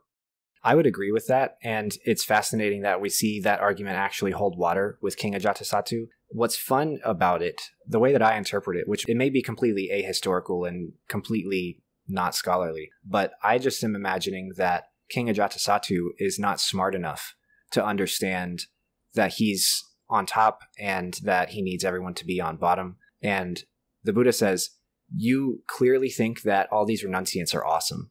You went to ask them questions, you went to talk to them in the past. You must think that they have some sort of special status in society. And they do. They're the top of the caste system. The king rules the land. But the Brahmanical class, these renunciants who have gone off, they are absolutely like the most respected and the most venerated in society at the time. And so That's why they are supported by alms, why the community gives them food and shelter on a very regular basis, is because they're viewed as extremely important to what's going on in that culture. And so he leverages the fact that King Ajatasattu absolutely does support that class of people. And he says, wouldn't it be cool if anybody could be as awesome as them? Even you, right? Even you as a king right now, you could be as awesome as them, especially if you support what I'm doing here. So the Buddha is being an excellent, an excellent arguer and an excellent convincer. And he's really doing good sales here because he's very aware of what King Ajatasattu is thinking about the people he talked to, and he's very aware of how the king relates with renunciants and with these religious movements, and he's definitely using that smartly in how he explains things. Yeah, he's doing a lot of the Socratic method, like, here's a situation, let me ask you a question at the end of it, and I have built the situation such that you are going to have the answer that I want you to have. Exactly. Yeah. And that is very skillful for him. That's very, very skillful. And I appreciate that it didn't immediately get into the hard philosophy stuff. Because, for one thing, the Pali Canon, it doesn't like to do that all the time. There's a time and a place for it the Pali Canon has a lot of texts like this where the Buddha is kind of selling himself, selling his ideas. And when I say selling, I'm I don't mean like for his own financial gain. I mean like wrapping them up in specific voicings and specific rhetoric that appeals to who he's talking to. This is one of the cooler and one of the more status and power driven ways that he's selling it because the king of the region, the king of the region that supports the Buddha being able to be a renunciant like this, he's asking the Buddha questions about stuff. And the Buddha doesn't believe that the king is the most powerful. He doesn't believe the king has as much status as a renunciant of, of the Buddha. He doesn't believe that the king is like as close to enlightenment as his own disciples. And so he has to really walk a tight line so he doesn't offend and also so that he convinces and brings power onto his side. I wish we had a bit more about this version of Ajatasattu because referring to him as being possibly kind of stupid as a king is an interesting way to go about it. The idea of a king being like, "Yes, let's let my people move up in society to to a religious point." Like like I said, that's not what rulers generally want, but the idea that he might be kind of not a great ruler or not a powerful thinker is an interesting idea that I don't think there's enough here to make any kind of conclusion on. I agree. Perhaps in other suttas we'll get more evidence for that one way or the other. So now we talk about the higher fruits of the contemplative life. Okay, so higher fruits is I'm I'm having a hard time seeing what the difference between the higher fruit and first fruit are supposed to be talking about at the end of the higher fruits, it's still more people going forth by the rules of the monastic code. These sections on the fruits of the contemplative life are not always super organized or specific. It's kind of confusing. We want to be able to draw a straight line from the first section where he says, Imagine a slave who does this. Wouldn't that be cool? He goes, We have a slave who does this. Wouldn't that be cool? We have a farmer or a uh, laborer who wouldn't it be cool if they could do that? We could see a king. Wouldn't it be cool if they could do that? And then we go to a householder. Wouldn't it be cool? It's like that's out of order. You, you, you, one of the steps should have been before the king. It feels like. Yeah, and I think that what's going on there specifically has to do with like a recentering of the straight line of argument that he's trying to make. So people have classified the first sequence from slave to farmer to king to be arguing for the delight of solitude, the pleasure of virtue, and the contentment with like simplicity and stuff. And from here, he's pivoting a little bit because he's about to start talking about mental calm jhanic bliss, insight knowledge, mind made body, and more. So he's saying we've talked about all these kinds of people. They're all householders. So all these types of people, if they're householders and they renounce, that's really cool. But if they're all householders and they renounce at the coming of a Buddha, here's what happens specifically. So we're building up to the next section where, for one thing, he says what all these people do. They abstain from killing, false speech, stealing, sexuality, all kinds of bad speech, from damaging plant and seed life, from eating at the wrong time. Like there's a huge detailed list of all the things that monks refrain from doing in order to be consummate in their wisdom and perfection, to be consummate in their virtue. It's one of the earliest and most detailed descriptions of the Vinaya, the monastic rules that we get, and it's one of the most detailed sections dealing with like what did the Buddha's early disciples do? You know, not not necessarily the top 10, but like the early followers of the movement while he was still alive. This is a long section, but it's very interesting. Yeah, it's the section where Buddhist ethics are being set down. Like this is these are our rules and the basic structure of these rules kind of makes it clear how things are organized like in a in an ethical sense. Like I said, just here are the rules and like some of these are dire, I suppose. Several of these are describe a very severe life, abstaining from dancing, singing, and instrumental music and watching shows. Part of this is not doing a lot of the usual enjoyment of life.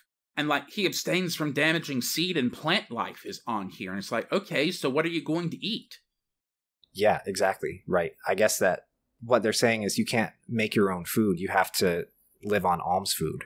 You can't be the one who damages the plant life because that would be bad karma. You you have to actually get it from somebody else who incurred the bad karma for you. But yeah, so these rules are very interesting. We we talked earlier about how the early arguments are straw men in the sense at least that he asks about a mango and they answer with a breadfruit. They gave the premise of King Ajatasattu asking about fruits of the contemplative life a voice filled with all of these different philosophies that existed in the Buddha's ecosystem at the time.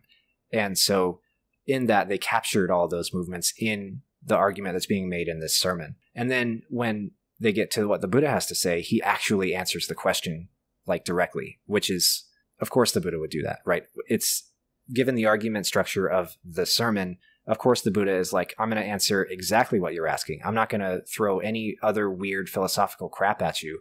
I'm just going to tell you what is cool about becoming a Buddhist renunciant. I'm just going to tell you what is cool about doing what all of us are doing. And he starts out by saying, all these different social classes, wouldn't it be cool if they renounced? Well, when they renounce, what do they actually do? In this section, he doesn't give any of the how or the why, he just gives the what, specifically the what. And the reason why is because King Ajatasattu only asked for the what, and everybody else gave him a bunch of how and why. And he just didn't really like it. He thought those answers were stupid. And he thought it was especially stupid whenever he asked for the what and the last guy said, I'm not going to give you the how or why of anything. And he's like, I didn't ask for that. I asked for the what. And so the Buddha says, here's what we do. We abstain from doing all these things. We don't have any of these lifestyles. And, you know, this is kind of just drawing the boundaries of what a monastic life in the Buddhist movement would be like. So if he left any of this out, then, for example, there may be a monk who goes out there and tries to tell the weather, right? he reads the suttas and meditates, but he also goes out and tries to tell the weather, or he tries to do accounting and calculation for somebody. And he's saying, no, you are just a renunciant. You are a full on nomadic monk. And it's fascinating. It's a it's a very cool picture of what early Buddhist monastic life was about. Because as you know, these rules get bent. All of them get bent in very interesting ways as Buddhism progresses through history. All of these about damaging seed and plant life, handling money, dancing and singing, wearing decorations, accepting money. All of these things all get changed and bent given different contexts. So that's very important to know. But we should still appreciate at least that there's like a a very clear and hard boundary drawn around the lifestyle that King Ajatasattu is asking about. So the rules in the lesser section of virtue are pretty straightforward. Like all of these I at least understand the why. Abstaining from singing and dancing is, you know, severe, but I understand why Buddhists are not supposed to do that. Like that's participating in desire and you can't and you're supposed to be getting away from that. Then we get into the intermediate section on virtue. And most of these are expansions on the previous section. Like it's just more talking about those rules. But there are a couple of these that stood out to me. So one thing that confused me is specifically consuming stored up goods so this is something the Buddhists abstain from, but why is stored up goods specifically a bad thing? Well, that's not full renunciation then. This is also fascinating because there's a little bit of like Martin Luther in what's going on here. And what I mean is like he's giving a little bit of his 95 theses against the Brahmin class because they're supposed to be renunciants and they proclaim that they are holy men and that they are fully renounced from their household life, only to do contemplations to achieve liberation, and so on and so forth. And he's saying some of them eat stored up food, some of them try to tell the weather, some of them accept money, some of them damage plant life, some of them watch shows, play games, have luxurious furniture, engage in lowly philosophical debates, run messages and errands for people, engage in political scheming, and do all of these things which are not consummate with the contemplative life. And so he's saying, like, not only are they wrong in those six ways that we talked about earlier, but also they're kind of corrupt and they're doing stuff that's not really jiving with the rest of their presentation. Right. I, I, suppose if all you're allowed to own is a robe and a bowl, then you can't have stored up goods. I guess I'm still thinking about this from a layperson perspective where not having stored up food is foolish. But different rules apply to monastics, so fair enough, I suppose. Yeah, because in this society, it is very consistent that, like, monastics will be able to eat. They won't eat as much and as often and as regularly as a lot of people in the West who are financially able do, but they are certainly fed and supported by the community because they're holy ones, right?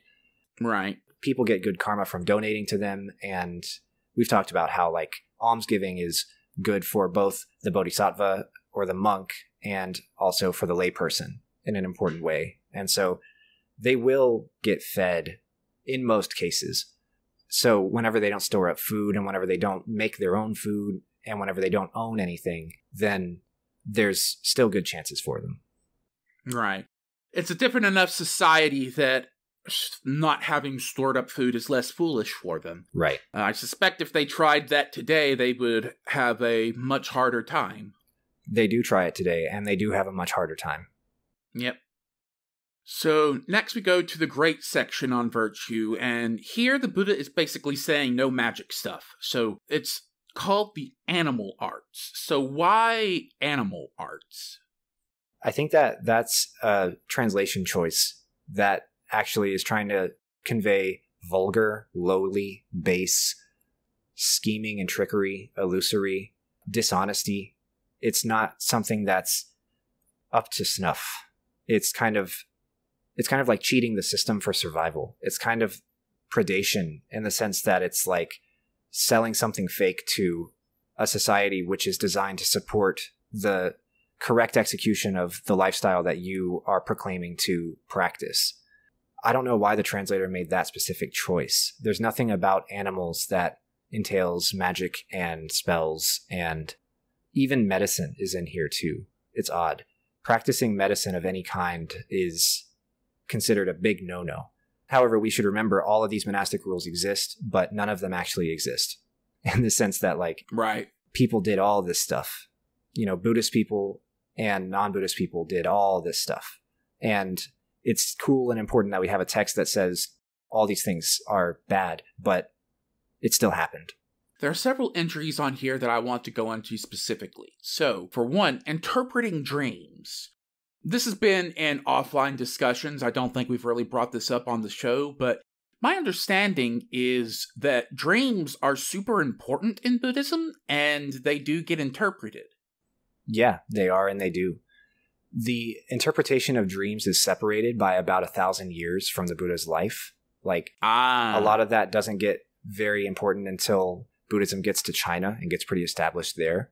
Because in Taoism and in Confucianism, dreams, and in Chinese folk religion as well, dreams are pretty important.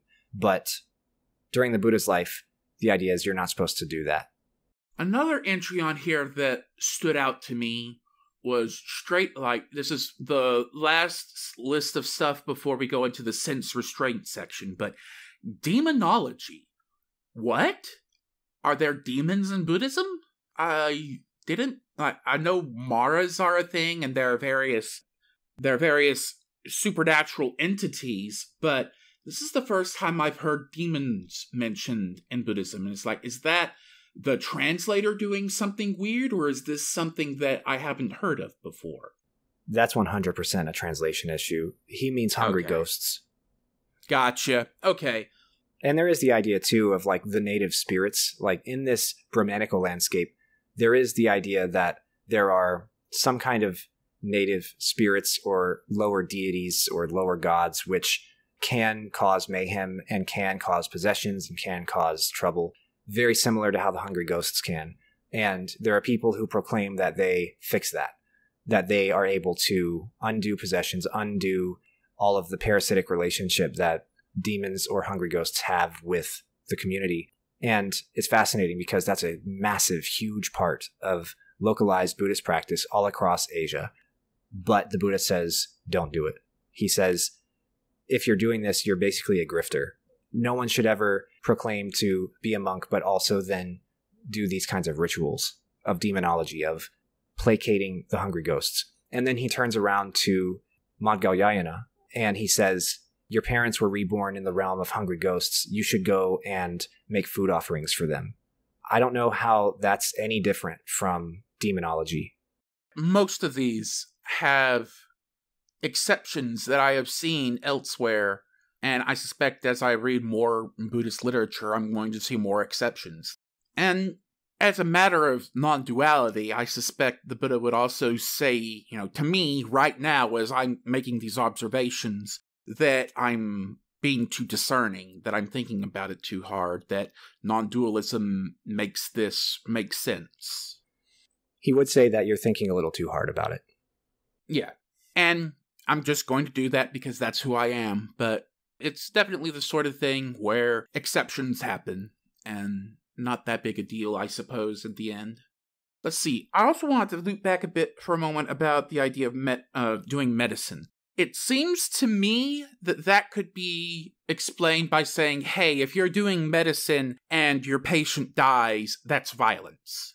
Yeah, exactly. It is. And it's also a little bit of like drawing a boundary between Buddhism and the Brahmanical society at the time, because Vedic medicine was something that Brahmanical people could practice and did practice. That was allowed for them, even if they did it and their patients died. It wasn't necessarily bad karma for them in that system. And so, in addition to saying cutting people up is harming them, it's also saying if you do this, then that's very un Buddhist of you. And so they may do that over there, but we don't do that over here. That doesn't necessarily mean that they're prohibited from seeking that medicine if they want it. So there is a little bit of, I don't want to say hypocrisy, but a little bit of like rules for me, not for thee type of things going on because like they can't do this to people, but if they need to have surgery or they need ointments, then they can go get them and use them. And it's just fine. Very strange kind of dichotomy there. It's not. I don't really see that as being incompatible because they're also not allowed to go out and get food for themselves either, but they still eat. So it makes sense to me to tell the monks not to be doctors. Again, specifically because being a doctor means there's a high chance of doing some sort of violence to your patients at some point. But, you know, again, they also don't harm plant life or seeds, but they're still going to eat them. That makes sense. Yeah. Maybe it's kind of like if we make the analogy of you're sitting down getting trained for an IT job and they tell you, you know, we don't tell the weather here, we don't do medicine here, we don't do accounting here, we do IT.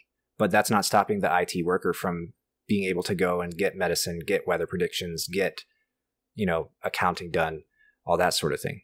Right.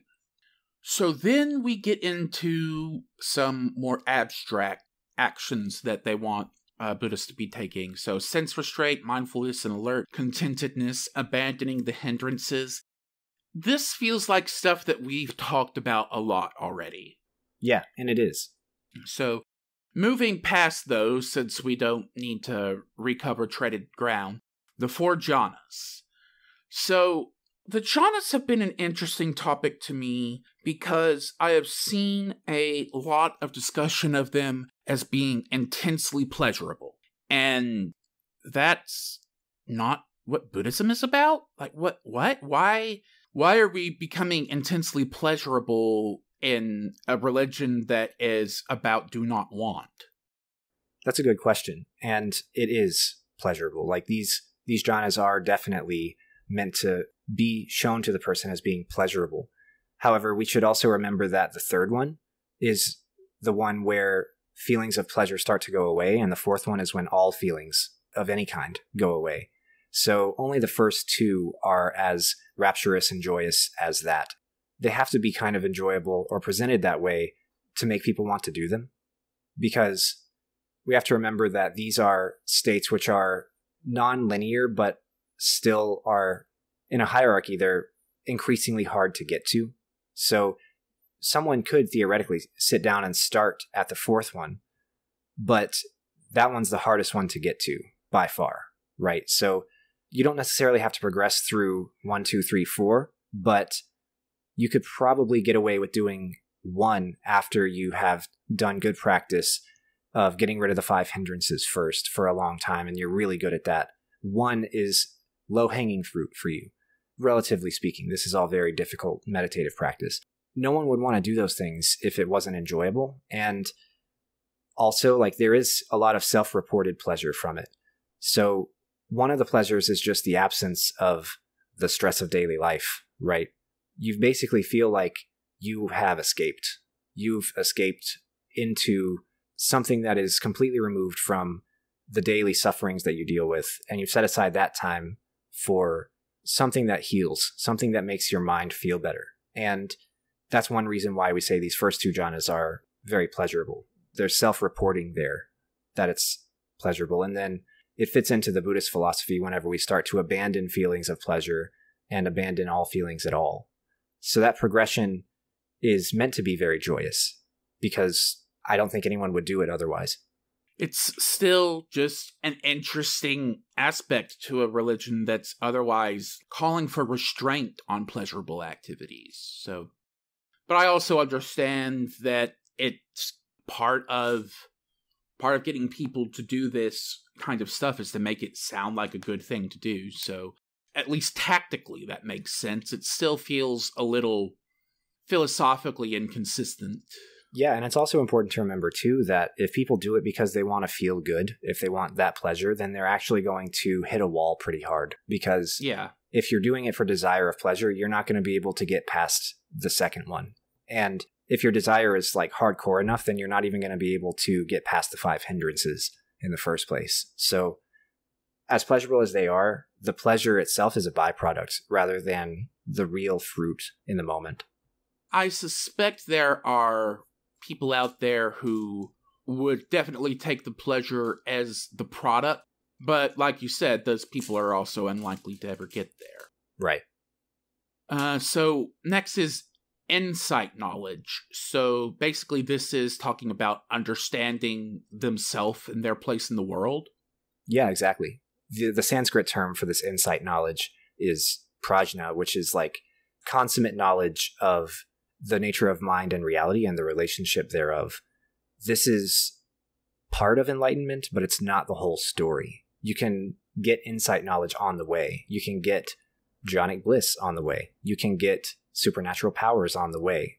And no one of those is the whole thing, but this is a huge a huge upfront selling point as to what's going on. Next section is the mind made body, and this one I did not get. This is a really tough section. I spent one third of one of my semesters in graduate school in a class talking about this section alone. Not the entire semester, but this was one of the readings in the whole class, this sutra, and we we ended up talking about this section for an entire third of the time. And the reason why is because there's suspicion that it might be an addition by a later author for some reason. There's suspicion that a Yogacara author came back and put that in there to try and make this into a canonical Yogacara text. There's suspicion that it's not a later edition and that it's actually one of the attainments that it's supposed to be talked about and it's supposed to be practiced regularly and just isn't really talked about that much in other texts for some reason. There's a lot of weird stuff going on here. But of course, as it says in the text, from his body, the meditator creates another body, which is endowed with form, but made of the mind, and is complete in all its parts. It's not inferior in any of its faculties. Just as if a man were to draw a sword from a scabbard and know that the scabbard is the scabbard and the sword is the sword, and I drew the sword from the scabbard. That is fascinating. One important point I think about that is that if you create the perfect practitioner in your mind, then that might assist in making your practice perfect. If you are imagining yourself differently, it might make your practice go differently. Another aspect is maybe sort of a decentering from your sense of self. So you don't want to think that the person or the entity undergoing these meditative attainments and these meditative changes is you as your body, as you occupy your body. You want to think of it differently. And this is maybe step one of thinking of it as decentered from your physical body, from your sense faculties, and start to understand the true nature of like the aggregates or something like that. It sounds similar to me to and we're getting way outside of buddhism at this point but it sounds similar to me about the way people talk about tulpas except instead of a distinct mental presence it's another version of yourself like talking about that as like creating the perfect practitioner in your mind like that there's some overlap there presuming you know what the word tulpa means i just realized i haven't that's not a common one. Right. And for the listeners, that is, if I get this correctly, a manifestation of something from the mind of somebody. Yeah, sort of. I have heard it described as like an adult version of an imaginary friend, if they're wanting to be really dismissive about it. But it's basically people creating a separate mental personality that they talk to and it's it sounds like this is doing something like the mind made body is trying to do something similar except instead of a distinct entity it's another version of yourself yeah it's fascinating. And what's interesting is whether or not this mind made body is separate from you physically. Like can this body or should this body go somewhere else or be somewhere else than your physical body is? Or are you basically making a mind made body that populates your current body, but doesn't have whatever inferiority or, or, or disability or health problem or whatever other suffering that this body has, and it occupies the same space, but is just better off. I don't know. Like, I imagine like he's speaking to a king in this sense, obviously, but what if he were speaking to somebody who had lost a leg and the loss of the leg was obviously like a huge barrier to believing in and practicing what the Buddha has to say. And so maybe one way to help that person overcome believing themselves as being legless in the sense that they believe in a self that has legs that can be removed. He says, imagine a mind made body that does have both legs. And now you're starting to realize that this body you have, endowed with all of its health problems and sufferings and disabilities, is not anything other than the aggregation of some sort of physical matter that itself is empty and will eventually change, disaggregate, and reaggregate differently some other time. Right? So it's a very tough section. I don't think that we'll be able to get to a really clear answer about what it is, why it's here, and whether it's original or not, just in this time we have because it's complicated. Yeah, there's a lot going on there that we're not going to be able to penetrate here. So, with that, we move on to supernormal powers, clairaudience, mind reading, recollection of past lives. Like, there's a lot as you go on, things get more and more cosmic and extreme in their benefits. They do, yeah. And again, this is one of the few places where we actually see what supernatural powers and what knowledges you get actually explained explicitly. You're able to walk on water, you can fly whenever you sit cross legged, you can hear things with your divine ear element that humans can't hear. It kind of starts to explain how enlightened people or near enlightened people can interact with like devas because devas don't just talk to anybody. They speak with a voice that creates a divine sound element, which can only be perceived by a divine ear element, which is better than a regular ear.